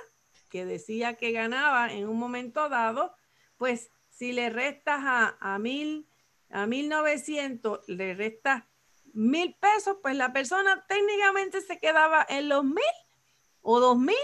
Pero bueno, la cosa es que la persona aparentemente, ¿cómo era que se los transfería? Dicen las alegaciones de este pliego acusatorio, que se la eh, traducía, se transfería a la persona, mire cómo empieza el asunto, se la transfería a la persona A que mencionaron al principio, ustedes se acuerdan, que mencionaba que una persona comenzó a trabajar y le decían En el 2013. Eh, la, persona A, comenzó a trabajar en el 13, en el 2013. Después dejó de estar. Después vino una persona B, el 13, el 14. Pues mire, aquí comienzan nuevamente a hablar de la persona A y de la persona B.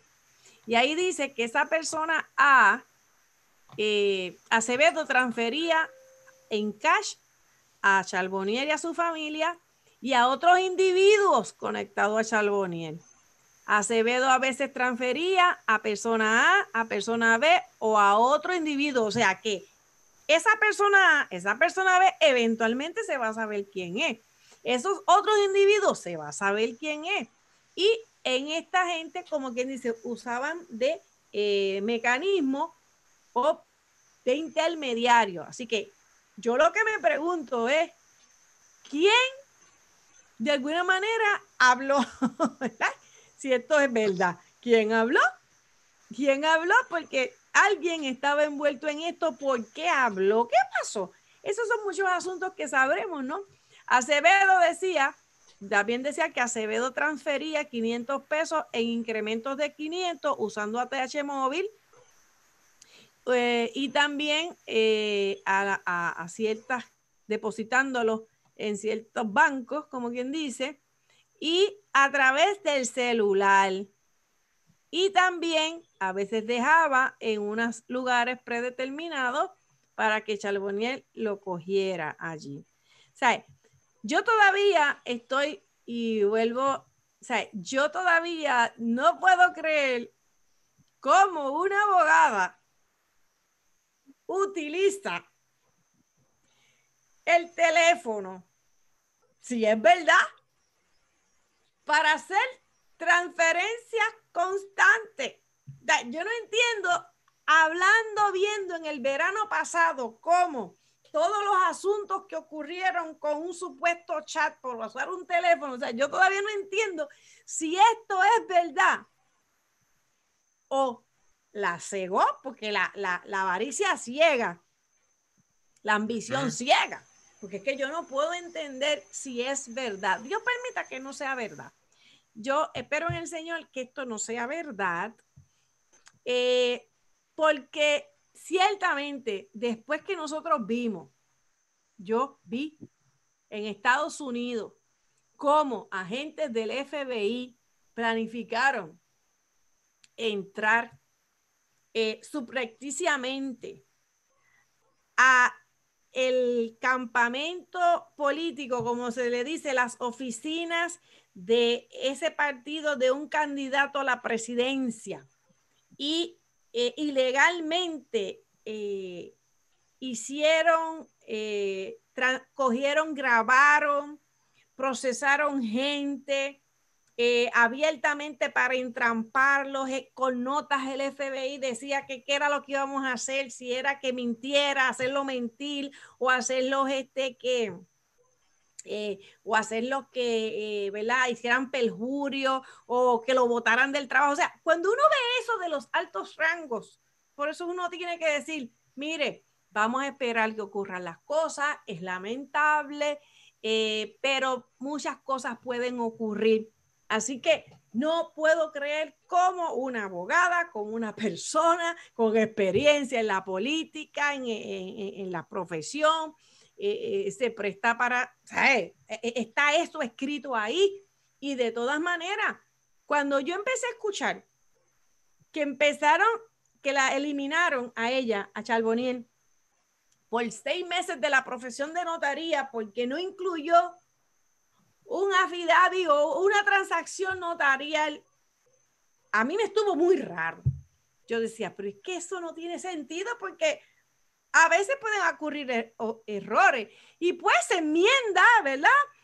Uno no sabe exactamente qué era, pero me estaba muy raro, me estaba muy raro. Obviamente, luego que esto explota, pues sabemos que hay algo más. Así que vamos a, ¿verdad? Vamos, vamos a unas palabras finales para entonces eh, poder eh, seguir discutiendo esto. Quisiera escribir, eh, hablarle más, pero es más largo, pero como existen todos los días sale algo, digo, o, o lo cubrimos o dejamos algo porque es mucho para procesar. las palabras finales. Podemos este, hacer una segunda sección para discutir el resto. Seguro que sí. Pero todo esto es muy penoso en realidad. Este, bien, bien penoso. Eh, por todos los ángulos que uno lo mire. Por el ángulo político, por el ángulo este, cristiano, por el ángulo social, por el ángulo de ejemplo hacia la nueva generación, ¿verdad? Que está subiendo y qué, y qué, qué, le qué mensaje le estamos dando de qué se trata la política. O sea, se trata de, ¿verdad? De aprovechar unas oportunidades o se trata de ir verdaderamente a contribuir eh, con el bienestar del pueblo, ¿verdad? Que a la misma vez eso pues resulta en beneficio para nosotros mismos y para toda nuestra descendencia. Así que eh, eh, esto es muy penoso y estando en este año, eh, se aproximan unas elecciones, pues creo que toda esa gente que está corriendo debe de, el que tenga un, algo en mente de planes, que piense que las cosas aquí no se saben, que sepa que aquí se sabe todo.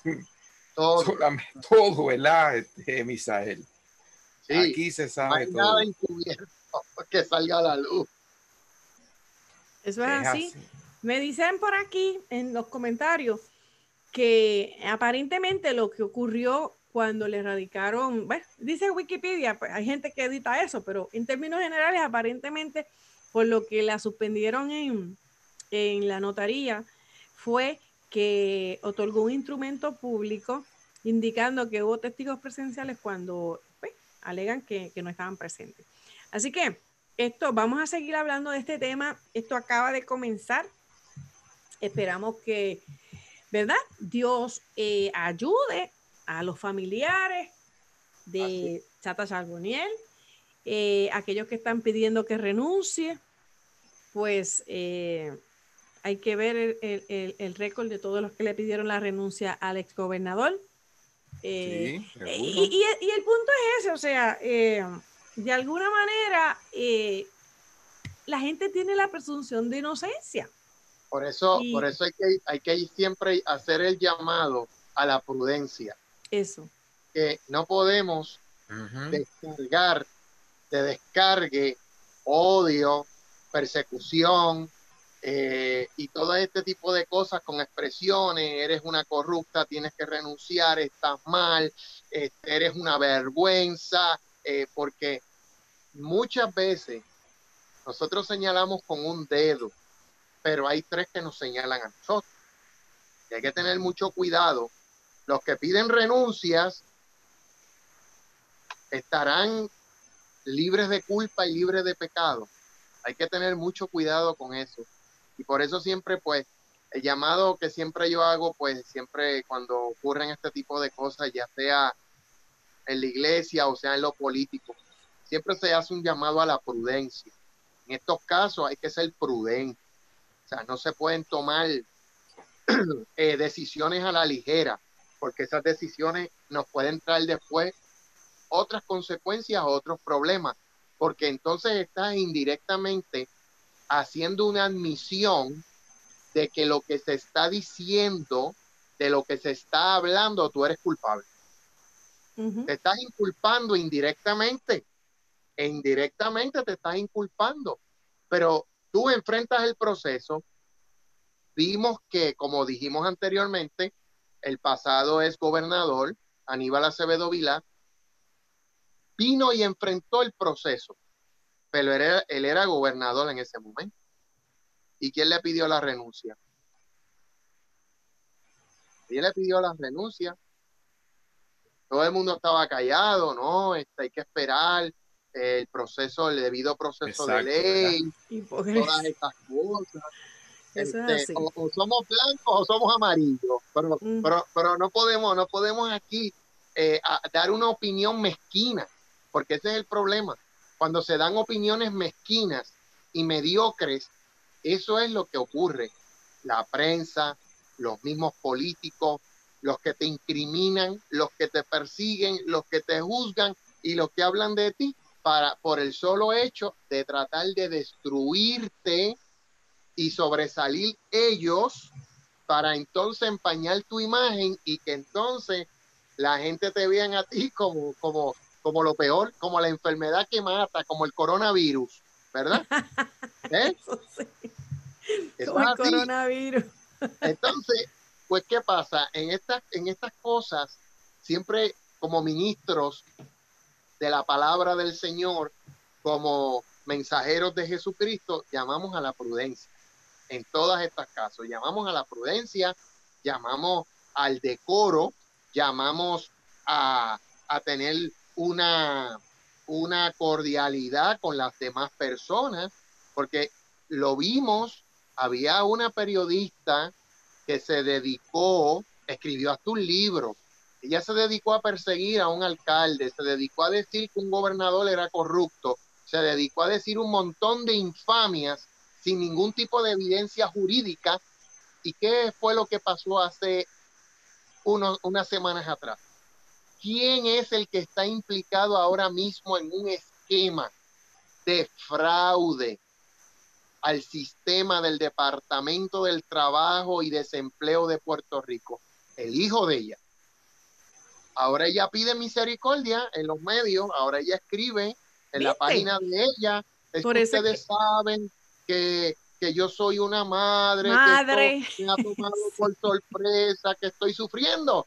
Yo leí los comentarios que ella escribió en su propia página, pero entonces tenemos que tener misericordia contigo porque eres una periodista y porque ese es tu hijo y tú no tuviste misericordia ni nada con el alcalde que tú perseguías constantemente y con el gobernador que, se tuvo que ir lamentablemente.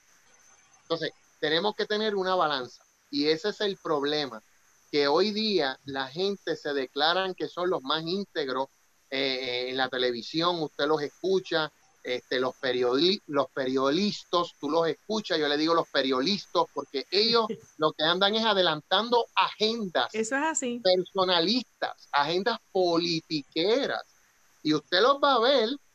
De hecho, hay un canal que le deberían de cambiar ese, ese nombre, deberían de ponerle el nombre de ese partido político, porque ese señor ha cambiado la estructura, la logística de ese canal desde que lo instalaron como gerente general. Y ese canal es solamente de política, política, política, política, política. Mire, todo está politizado. Imagínese usted que traen a un exgobernador que se vio implicado en un caso de fraude como el que nosotros sabemos de Anaudi Hernández, una mafia organizada por el recaudador de su propio partido. Vimos la ganga Horta en recreación y deportes, como el hombre tenía aquel, aquel, aquel este boquete enorme de grande donde estaban guardando todo el dinero. Óigame, ¿y cómo entonces tú te me vas a presentar ahora como que eres un analista, eres un inmaculado, eres una, una madre de la caridad, este, entonces tú eres un analista, entonces señalas a aquel, señalas a aquel, señalas a aquel, pero tú nunca gobernaste. Hello. Tenemos que tener en cuenta que estos son, yo le llamo a esto los profetas del miedo, porque ellos siempre van a estar hablando de el miedo, el miedo, el miedo, el miedo. Ahí viene el lobo, ahí viene el lobo, pero nunca van a decir que el lobo son ellos. Nunca van a decir que el lobo son ellos y los que están disfrazados de ovejas son ellos. ¿Me entiendes? Entonces, en Puerto Rico, yo le doy gracias al Señor porque nosotros los creyentes, los cristianos, estamos ahora levantándonos a través de los medios de comunicación de la internet. Estamos escribiendo, estamos haciendo Facebook Live, estamos haciendo Instagram Live, bueno, de todo ya la internet es lo que está informando a la gente. Sí, ya los periodistas tienen que hacer las noticias de lo que dijo en internet, de lo que dijo en las redes. ya ellos no tienen primicias ninguna. ya ellos llegan tarde. Las, las, emisoras de radio y las televisoras ya, ya prácticamente si no se incorporan a la internet desaparecen, porque ahora todo es la internet. Entonces, si no se incorporan al Internet, si no ponen eh, los programas live, si no este, ponen todo eso de esa forma en la Internet, pues... Sí, y, que, y que ya los van a escrutinizar a ellos. ya ellos no son la última opinión porque se nota que lo que tienen es un plan concertado para lavarte la cabeza. Entonces la gente dice, se supone que yo reciba una data y yo llegue a mi propia conclusión, pero no, ellos te dan la conclusión y después tú tienes que ir a buscar la data para ver si es verdad eh, a quién le voy a creer. Así que nosotros estamos en un eh, momento histórico muy interesante, preocupante, porque también estamos ahora viendo que hay gente que eh, un nuevo, una nueva proyección política, eh, partidos políticos emergentes, y te digo, hay gente que ha estado... políticos emergentes. Y han estado, y han estado, el punto es que hay unos que te dicen claramente yo soy ateo y mi cúpula es atea, no por lo que digo, porque la historia misma, mis hechos lo confirman. Hay otros que están en partidos tradicionales, como tú dices, Misael, que se han cantado como, como, como obispos y monaguillos. Así mismo. Y, y son los más, personas más distantes de lo que es la cosmovisión bíblica. Así que hay uno, el proyecto Dignidad sale ahora y que, cojan, que cojan, que cojan este, con esta gente, con lo que está pasando con Charbonnier. O sea, no pueden decir y ponerse el manto de cristiano para hablar en la política pública. Hay que tener, cada persona responde por sus actos. Y obviamente sabemos que hay gente, te digo ahora, pero eh, lo que quiero decir es, como tú dices, que esos que siempre, los azules, siempre se han arreguindado en el momento de la verdad, decir que son conservadores cuando no lo son. Así que aquí van a haber cambios, aquí la gente está harta, la gente está, como tú dices, ya no le creen ni a la plataforma, no le creen al candidato, no le creen. Ahora son, ahora, ahora son los, los artistas que quieren venir a hacer ahora política. Ahora ellos son los políticos, los analistas. O sea, quieren venir a gobernar. Hay que orar para que Dios le dé una conciencia limpia a la gente para poder tomar y apoyar, porque Dios va a hacer lo que va a hacer, pero nosotros, nos, pone a nosotros a tomar parte, porque es un reflejo de lo que nosotros somos. Los políticos son un reflejo de lo que está en el pueblo. Willy, ¿qué decías? O Misael, que no lo deje terminar. Nosotros, nosotros tenemos que, nosotros, el pueblo del Señor, tenemos que comenzar a tomar posturas, posturas firmes, posturas verdaderas. Yo me reía el otro día porque escuchaba a la presidenta del Capitolio de Washington, D.C., a la señora Pelosi, decir que ella era una católica practicante, que era cristiana, pero ella apoyaba el aborto, el asesinato de miles y miles de inocentes por nacer. Exacto. Hasta los nueve meses, hasta después de nacer, porque ahora hasta después de nacer. ¿Usted cree que un cristiano verdadero que conoce la palabra, que está totalmente comprometido con Dios y la palabra, va a defender el derecho al asesinato. No. Usted va a creer que hay un cristiano verdadero que conoce la palabra que va a estar de acuerdo con posturas y acciones inmorales como los LGTB y todas las demás cosas como la ideología de género destructiva que se ha tratado de imponer a capa y espada en el sistema del Departamento de Educación de tanto de Puerto Rico como de Estados Unidos. Entonces usted escucha a estas personas que se llaman un chiste exactamente cristiano.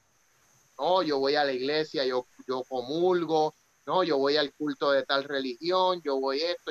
Entonces ahí es donde raya y ahí es donde nosotros como cristianos verdaderos tenemos que levantarnos y levantar nuestra voz levantar nuestro voto también en las urnas sin miedo, porque entonces si nosotros no hacemos eso, cuando vengas a ver, te van a ir a tu iglesia te van a demandar, te van a expropiar, te van a sacar de ahí y te van a cerrar tu templo.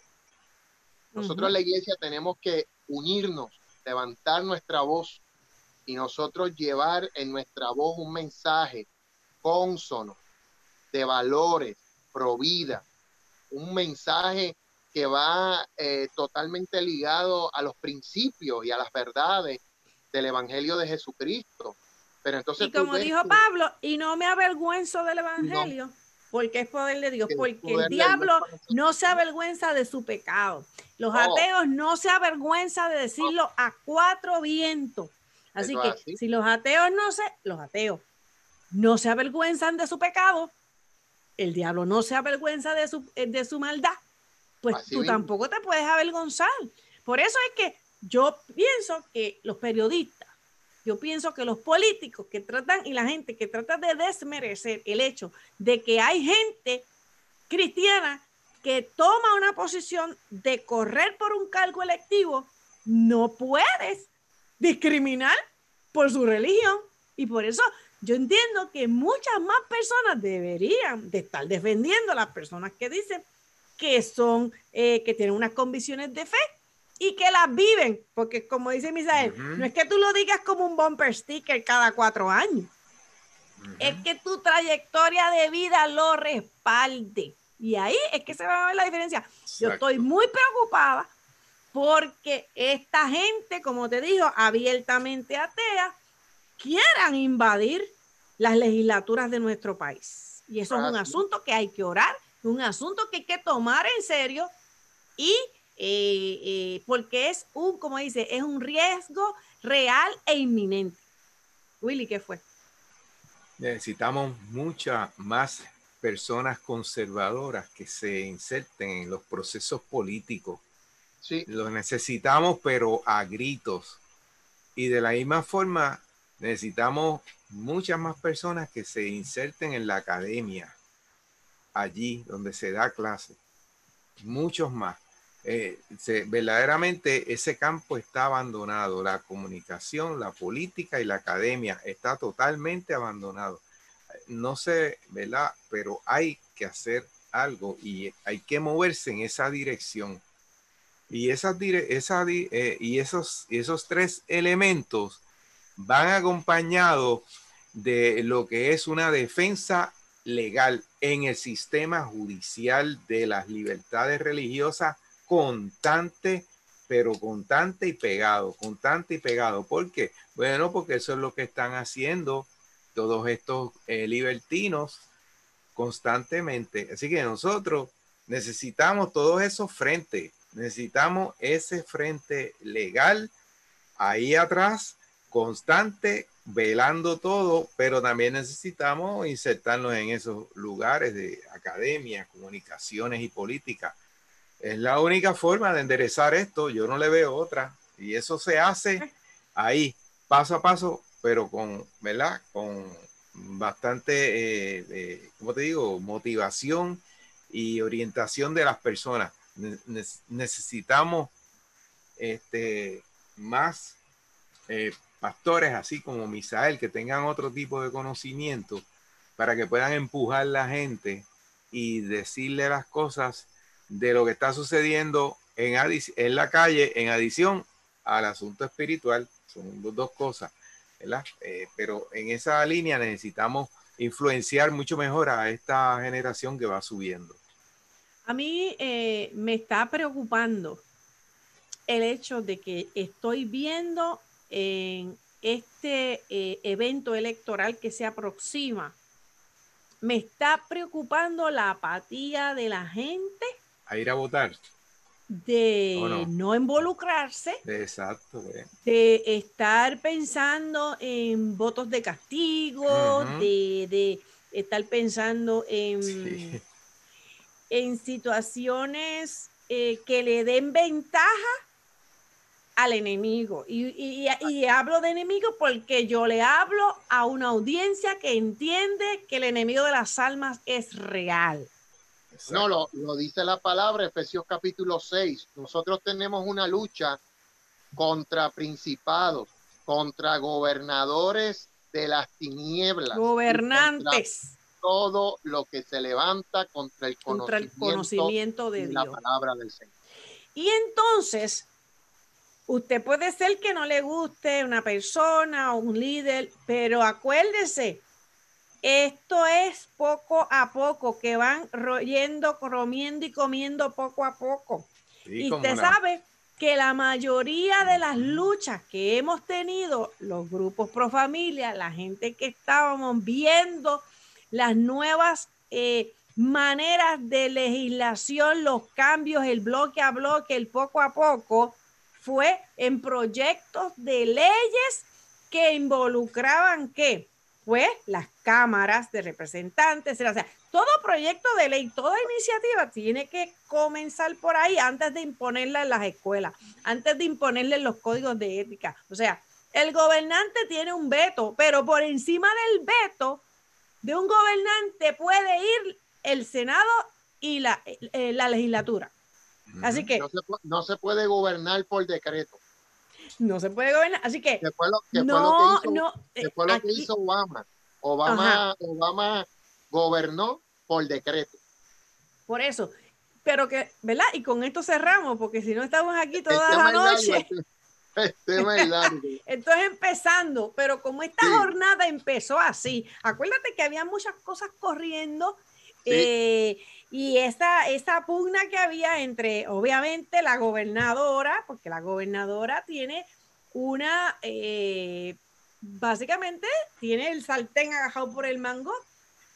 Por, el asunto de la pandemia, por el asunto del lockdown, por el asunto de la, de la ah, orden ejecutiva, y eh, los asuntos de los terremotos, los asuntos de, o sea, estamos en un cuatrenio que, que ha sido turbulento. Entonces, todas estas nuevas personas, hay un, hay un descontento por muchos años, hay un descontento con el sistema. La gente está diciendo, yo estoy harta de todo el mundo, pero acuérdese que las luchas que nosotros hemos dado fuertemente ha sido por los detractores de la moral y de la fe en posiciones de tomar decisiones votando por proyectos y cosas que eventualmente se convierten en Mm. armas contra nosotros. y, y Así que poderosas. si nosotros no tomamos posiciones y pensamos, ay, es que yo voy a votar, porque aquí todo se ha concentrado en la gobernación, como si eso fuera lo más importante. Eso no es lo más importante. No, hab- había más candidaturas para alcaldías, para, habían otras candidaturas. Esos son los que presionan, pero a la hora de la verdad es bien importante las legislaturas. Y yo pienso Sí, que tenemos que, por lo menos yo, yo no quiero saber de cajeristas políticos. Ya han dado lo que iban a dar. Así que cuidado, porque esos que llegan ahora, hay partidos como los partidos de los ateos, ciudad, ¿cómo es? Ciudadana. Movimiento Victoria Ciudadana. Ciudadana son ateos. Eso es el partido de los ateos. Si usted quiere votar por ellos, porque están por ahí mucha gente diciendo, no, pero aquello va a fiscalizar. va a ser-". Mira, el partido de los ateos. Sí, Los independientes, ateos. sí. To- todos son ateos. Todos son y humanistas. y Así que si a mí alguien me dice que me viene a cortar la cabeza, yo no me voy a tomar el chance para ver si lo hace o no lo hace. Así que tenemos que ser cuidadosos y dejar el miedo ya y tomar las posiciones y no podemos respaldar o no podemos premiar la gente que te ha fallado, que te viene a buscar cada cuatro años. Así que Mm. hay mucha gente en todos los partidos que son gente decente, que son gente de fe, que son gente que ha trabajado el tiempo que les ha tocado y lo ha hecho bien. Pues nosotros tenemos, ¿verdad? Que orar para que Dios nos dé una conciencia limpia, porque Dios te va a pedir cuenta también. O sea, en muchas partes del mundo, el voto no es optativo, no es si tú quieres ir a votar, te van y te multan y te procesan si tú no votas. Así que Puerto Rico todavía tiene también esa libertad. Así que vamos a usarla, ¿verdad? Así que yo creo que última, último comentario, ya nos hemos estado despidiendo hace media hora. Eh, eh, es como es como te estaba como le estaba diciendo licenciada los cristianos tienen que envolverse tienen que ir a las urnas sin miedo a tomar las mejores decisiones porque fíjese usted se pone a analizar y a estudiar la historia de, Alessandra Ocasio la que ganó por los demócratas por New York Ajá, la joven puertorriqueña, no sé qué otra cosa más. Sí, la ellos sí. Que tiene total desconocimiento sobre lo que pasó en el holocausto, tiene totalmente. Básico, asuntos básicos. Exacto. Entonces, usted sabe por qué esa señora ganó por el margen que ganó los cristianos de su distrito no se envuelven en la política, no fueron a votar. De hecho, Muchos judíos, muchos judíos no fueron a votar. Y ella es una mujer que es antisemita por sus expresiones, por lo que expresa, por lo que dice. Eh, entonces, el cristiano tiene que envolverse en este proceso debido de, debido de ley, de elecciones, de votación. Este, yo por lo menos en mi lo digo por mí. Eh, llevo muchos años trabajando con todo esto. He trabajado en colegios, eh, eh, estuve trabajando cuando aquel problema de la Comisión Estatal de Elecciones de los llamados pibazos, estuve allí de voluntario, ayudando, estuvimos contando papeletas, he, estado en todos estos, en todos los procesos que han ocurrido, precisamente para que nadie me cuente, ¿verdad? pero los cristianos, muchos no quieren asumir posturas.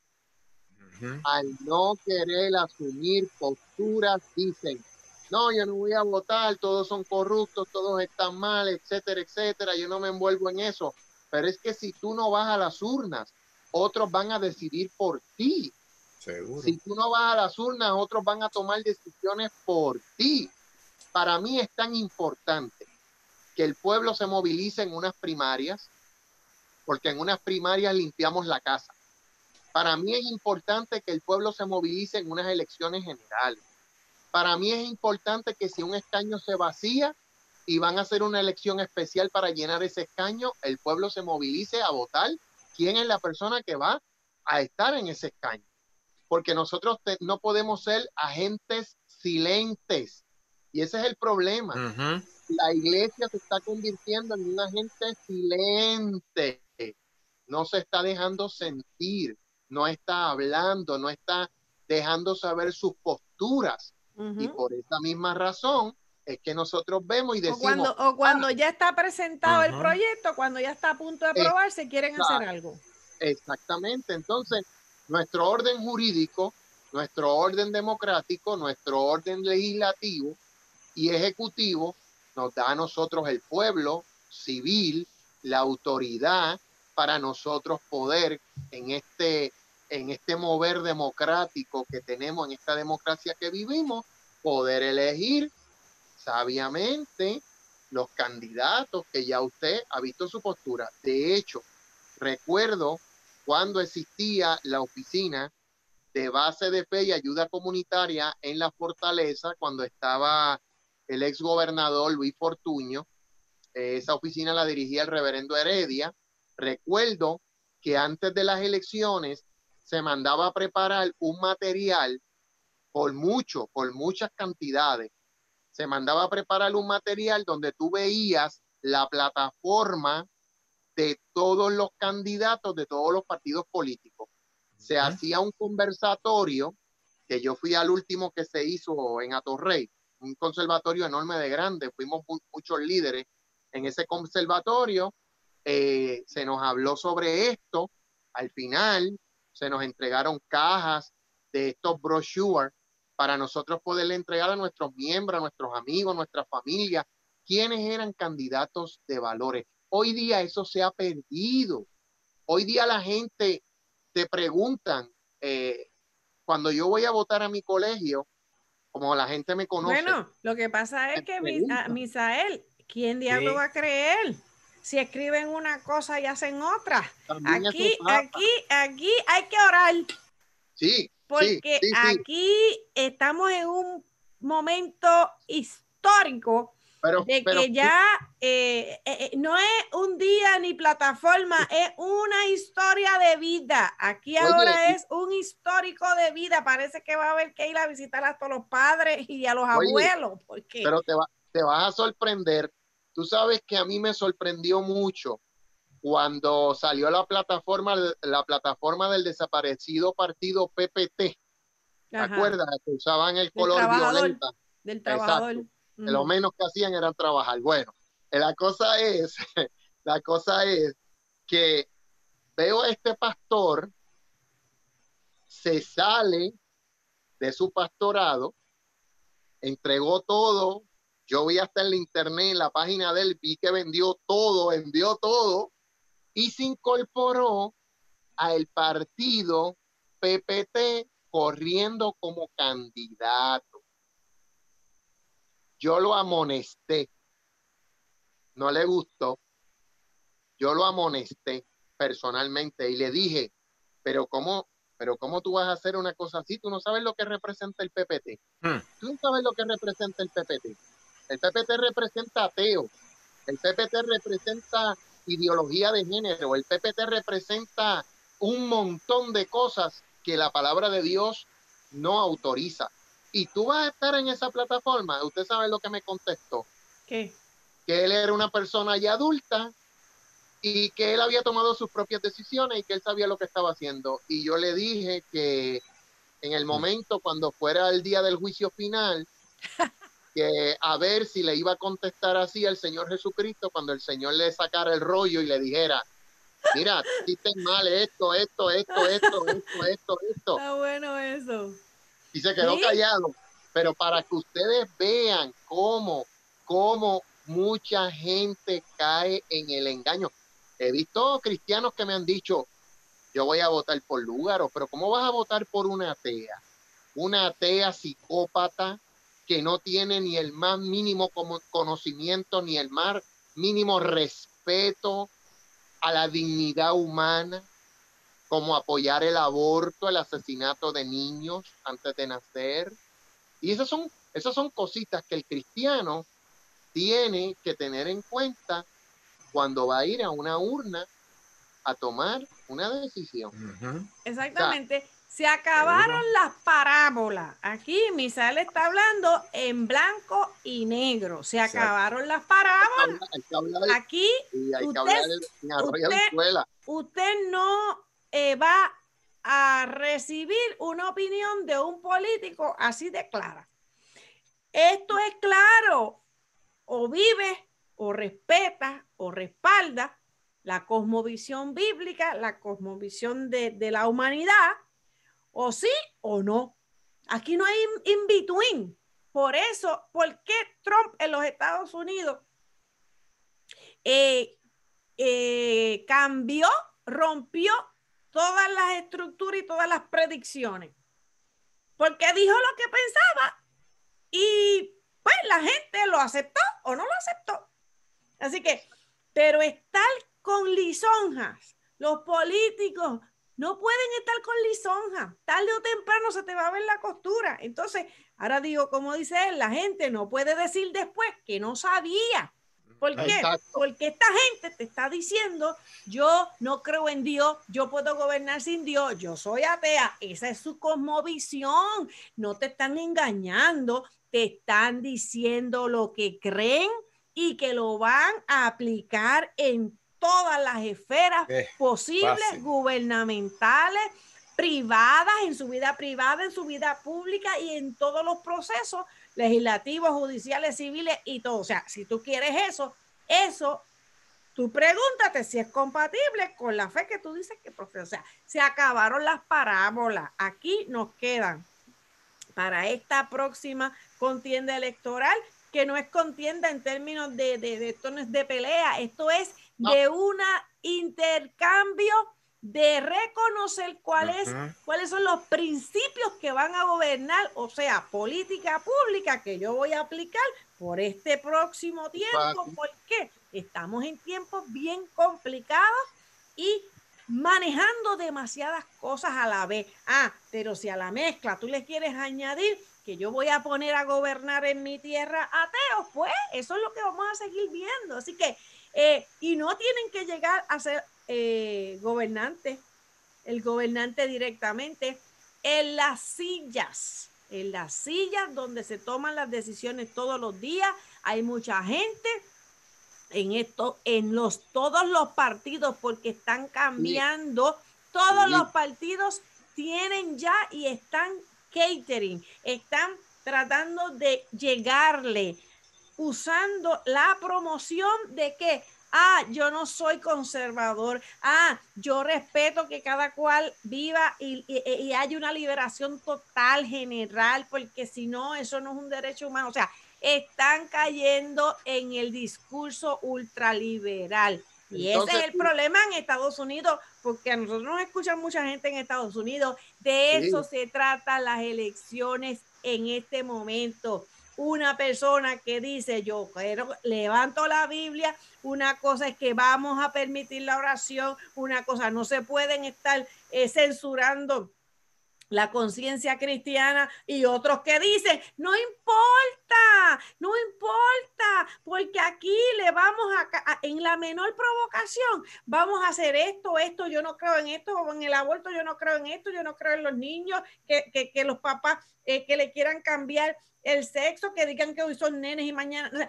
esos son dos formas diferentes de ver la vida y aplicar la política pública. Entonces, allá hay un gobernante que no es cristiano, que lo ha dicho desde el principio, que se ha atrevido a gritarlo por los cuatro vientos, y aquí dicen que son, que son cristianos y actúan en contra de lo que es la fe cristiana. Eso es increíble.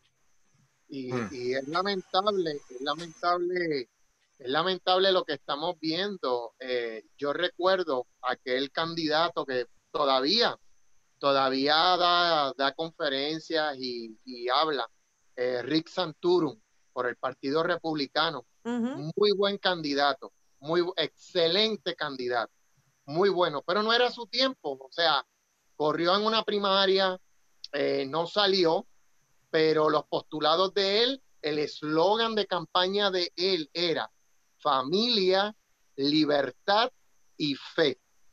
Ese era su eslogan en su campaña. Muy bueno, todavía, todavía él está activo cívicamente, mm. las conferencias, habla sobre todas estas cosas, pero fue un candidato que defendió y defiende todavía hasta lo último los valores y provida. Y ahí tenemos ahora al presidente Donald Trump, el, único presidente, el primer presidente que va a la marcha más grande pro vida en Washington, D.C., a exponer un discurso en apoyo total a la vida de esos niños que están por nacer.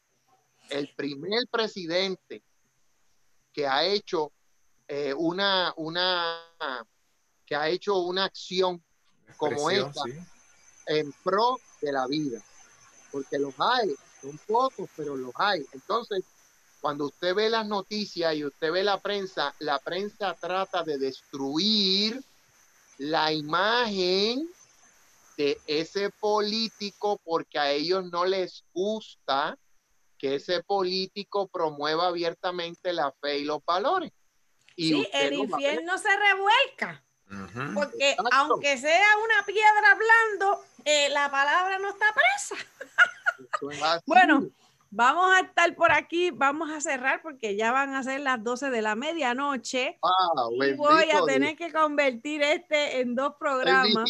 Es vigilia. pero damos gracias a Misael por todo el trabajo de fiscalización que veo que hace en las redes sociales, el trabajo de poder de alguna manera escribir eh, porque mucha gente, como tú dices, eh, le gusta hablar, hablar, pero escribir, digo yo, las palabras se las lleva el viento, por eso es que hacemos estos podcasts, por eso es que tratamos de que sea educativo, eh, que sea claro, que el que lo escuche sepa que defendemos. Nosotros no estamos aquí por tener ninguna posición política ni porque nosotros pagamos por trabajar, pero nosotros tenemos una, eh, nosotros tenemos una eh, responsabilidad con la defensa de la fe y queremos que las personas sepan que siempre la fe cristiana ha sido una de avanzada en la protección de qué? De las libertades, del desarrollo, que donde el evangelio ha llegado, la gente ha sido libre, la gente ha sido próspera.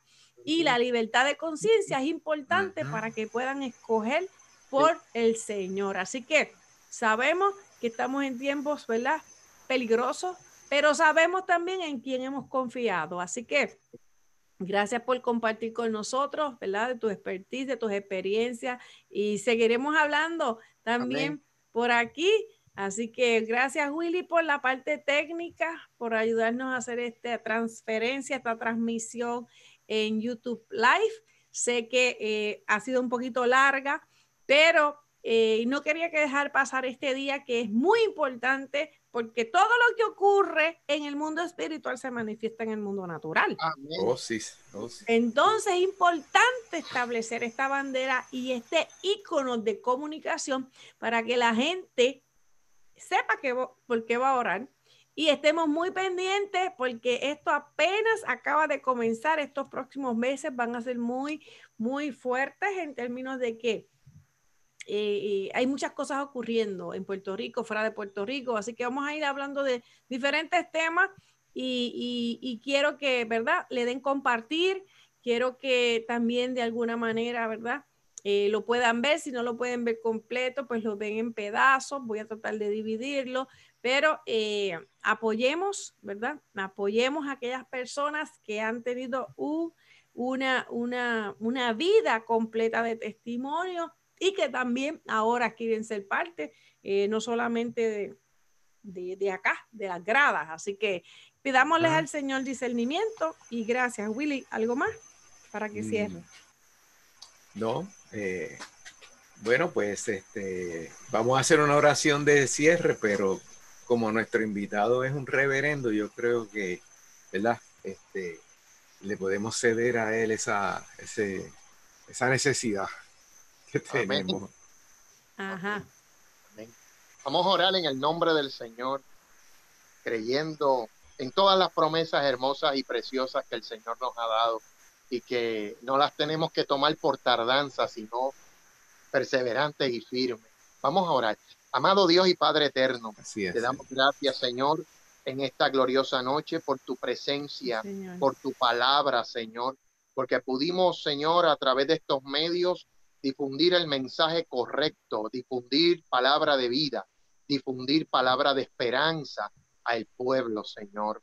Te pedimos, oh Dios, que la bendición tuya, que el poder sanador tuyo y el poder libertador tuyo obre ahora mismo en cada corazón, en cada vida que llegan estas ondas, que llega esta transmisión.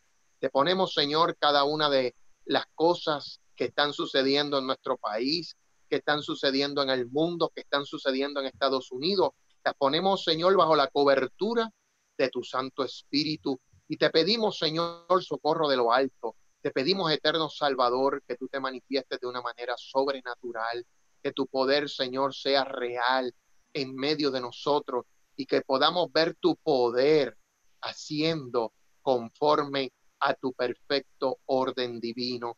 Ponemos nuestras vidas en tus manos te pedimos, Señor, que la iglesia se convierta en una iglesia activa, en una iglesia poderosa en ti, en una iglesia, Señor, llena de tu presencia, en una iglesia real y eficaz para un mundo enfermo, para un mundo necesitado de tu presencia. Te ponemos, Señor, esta transmisión en tus manos, cerramos hasta aquí, pero no nos vamos de tu presencia y te pedimos que la bendición tuya el poder sobreabundante de tu Santo Espíritu y la bendición de tu presencia sean con cada uno de nosotros ahora y siempre. En el nombre poderoso de Cristo el Señor te lo pedimos. Amén y amén. Amén. Amén. Muy bien. Gracias a pues. ustedes y todos los que nos han acompañado. Será hasta la próxima. Dios le bendiga. Amén. Bendiciones, amados. Hasta luego. Hasta luego. Nos vemos. bye, bye.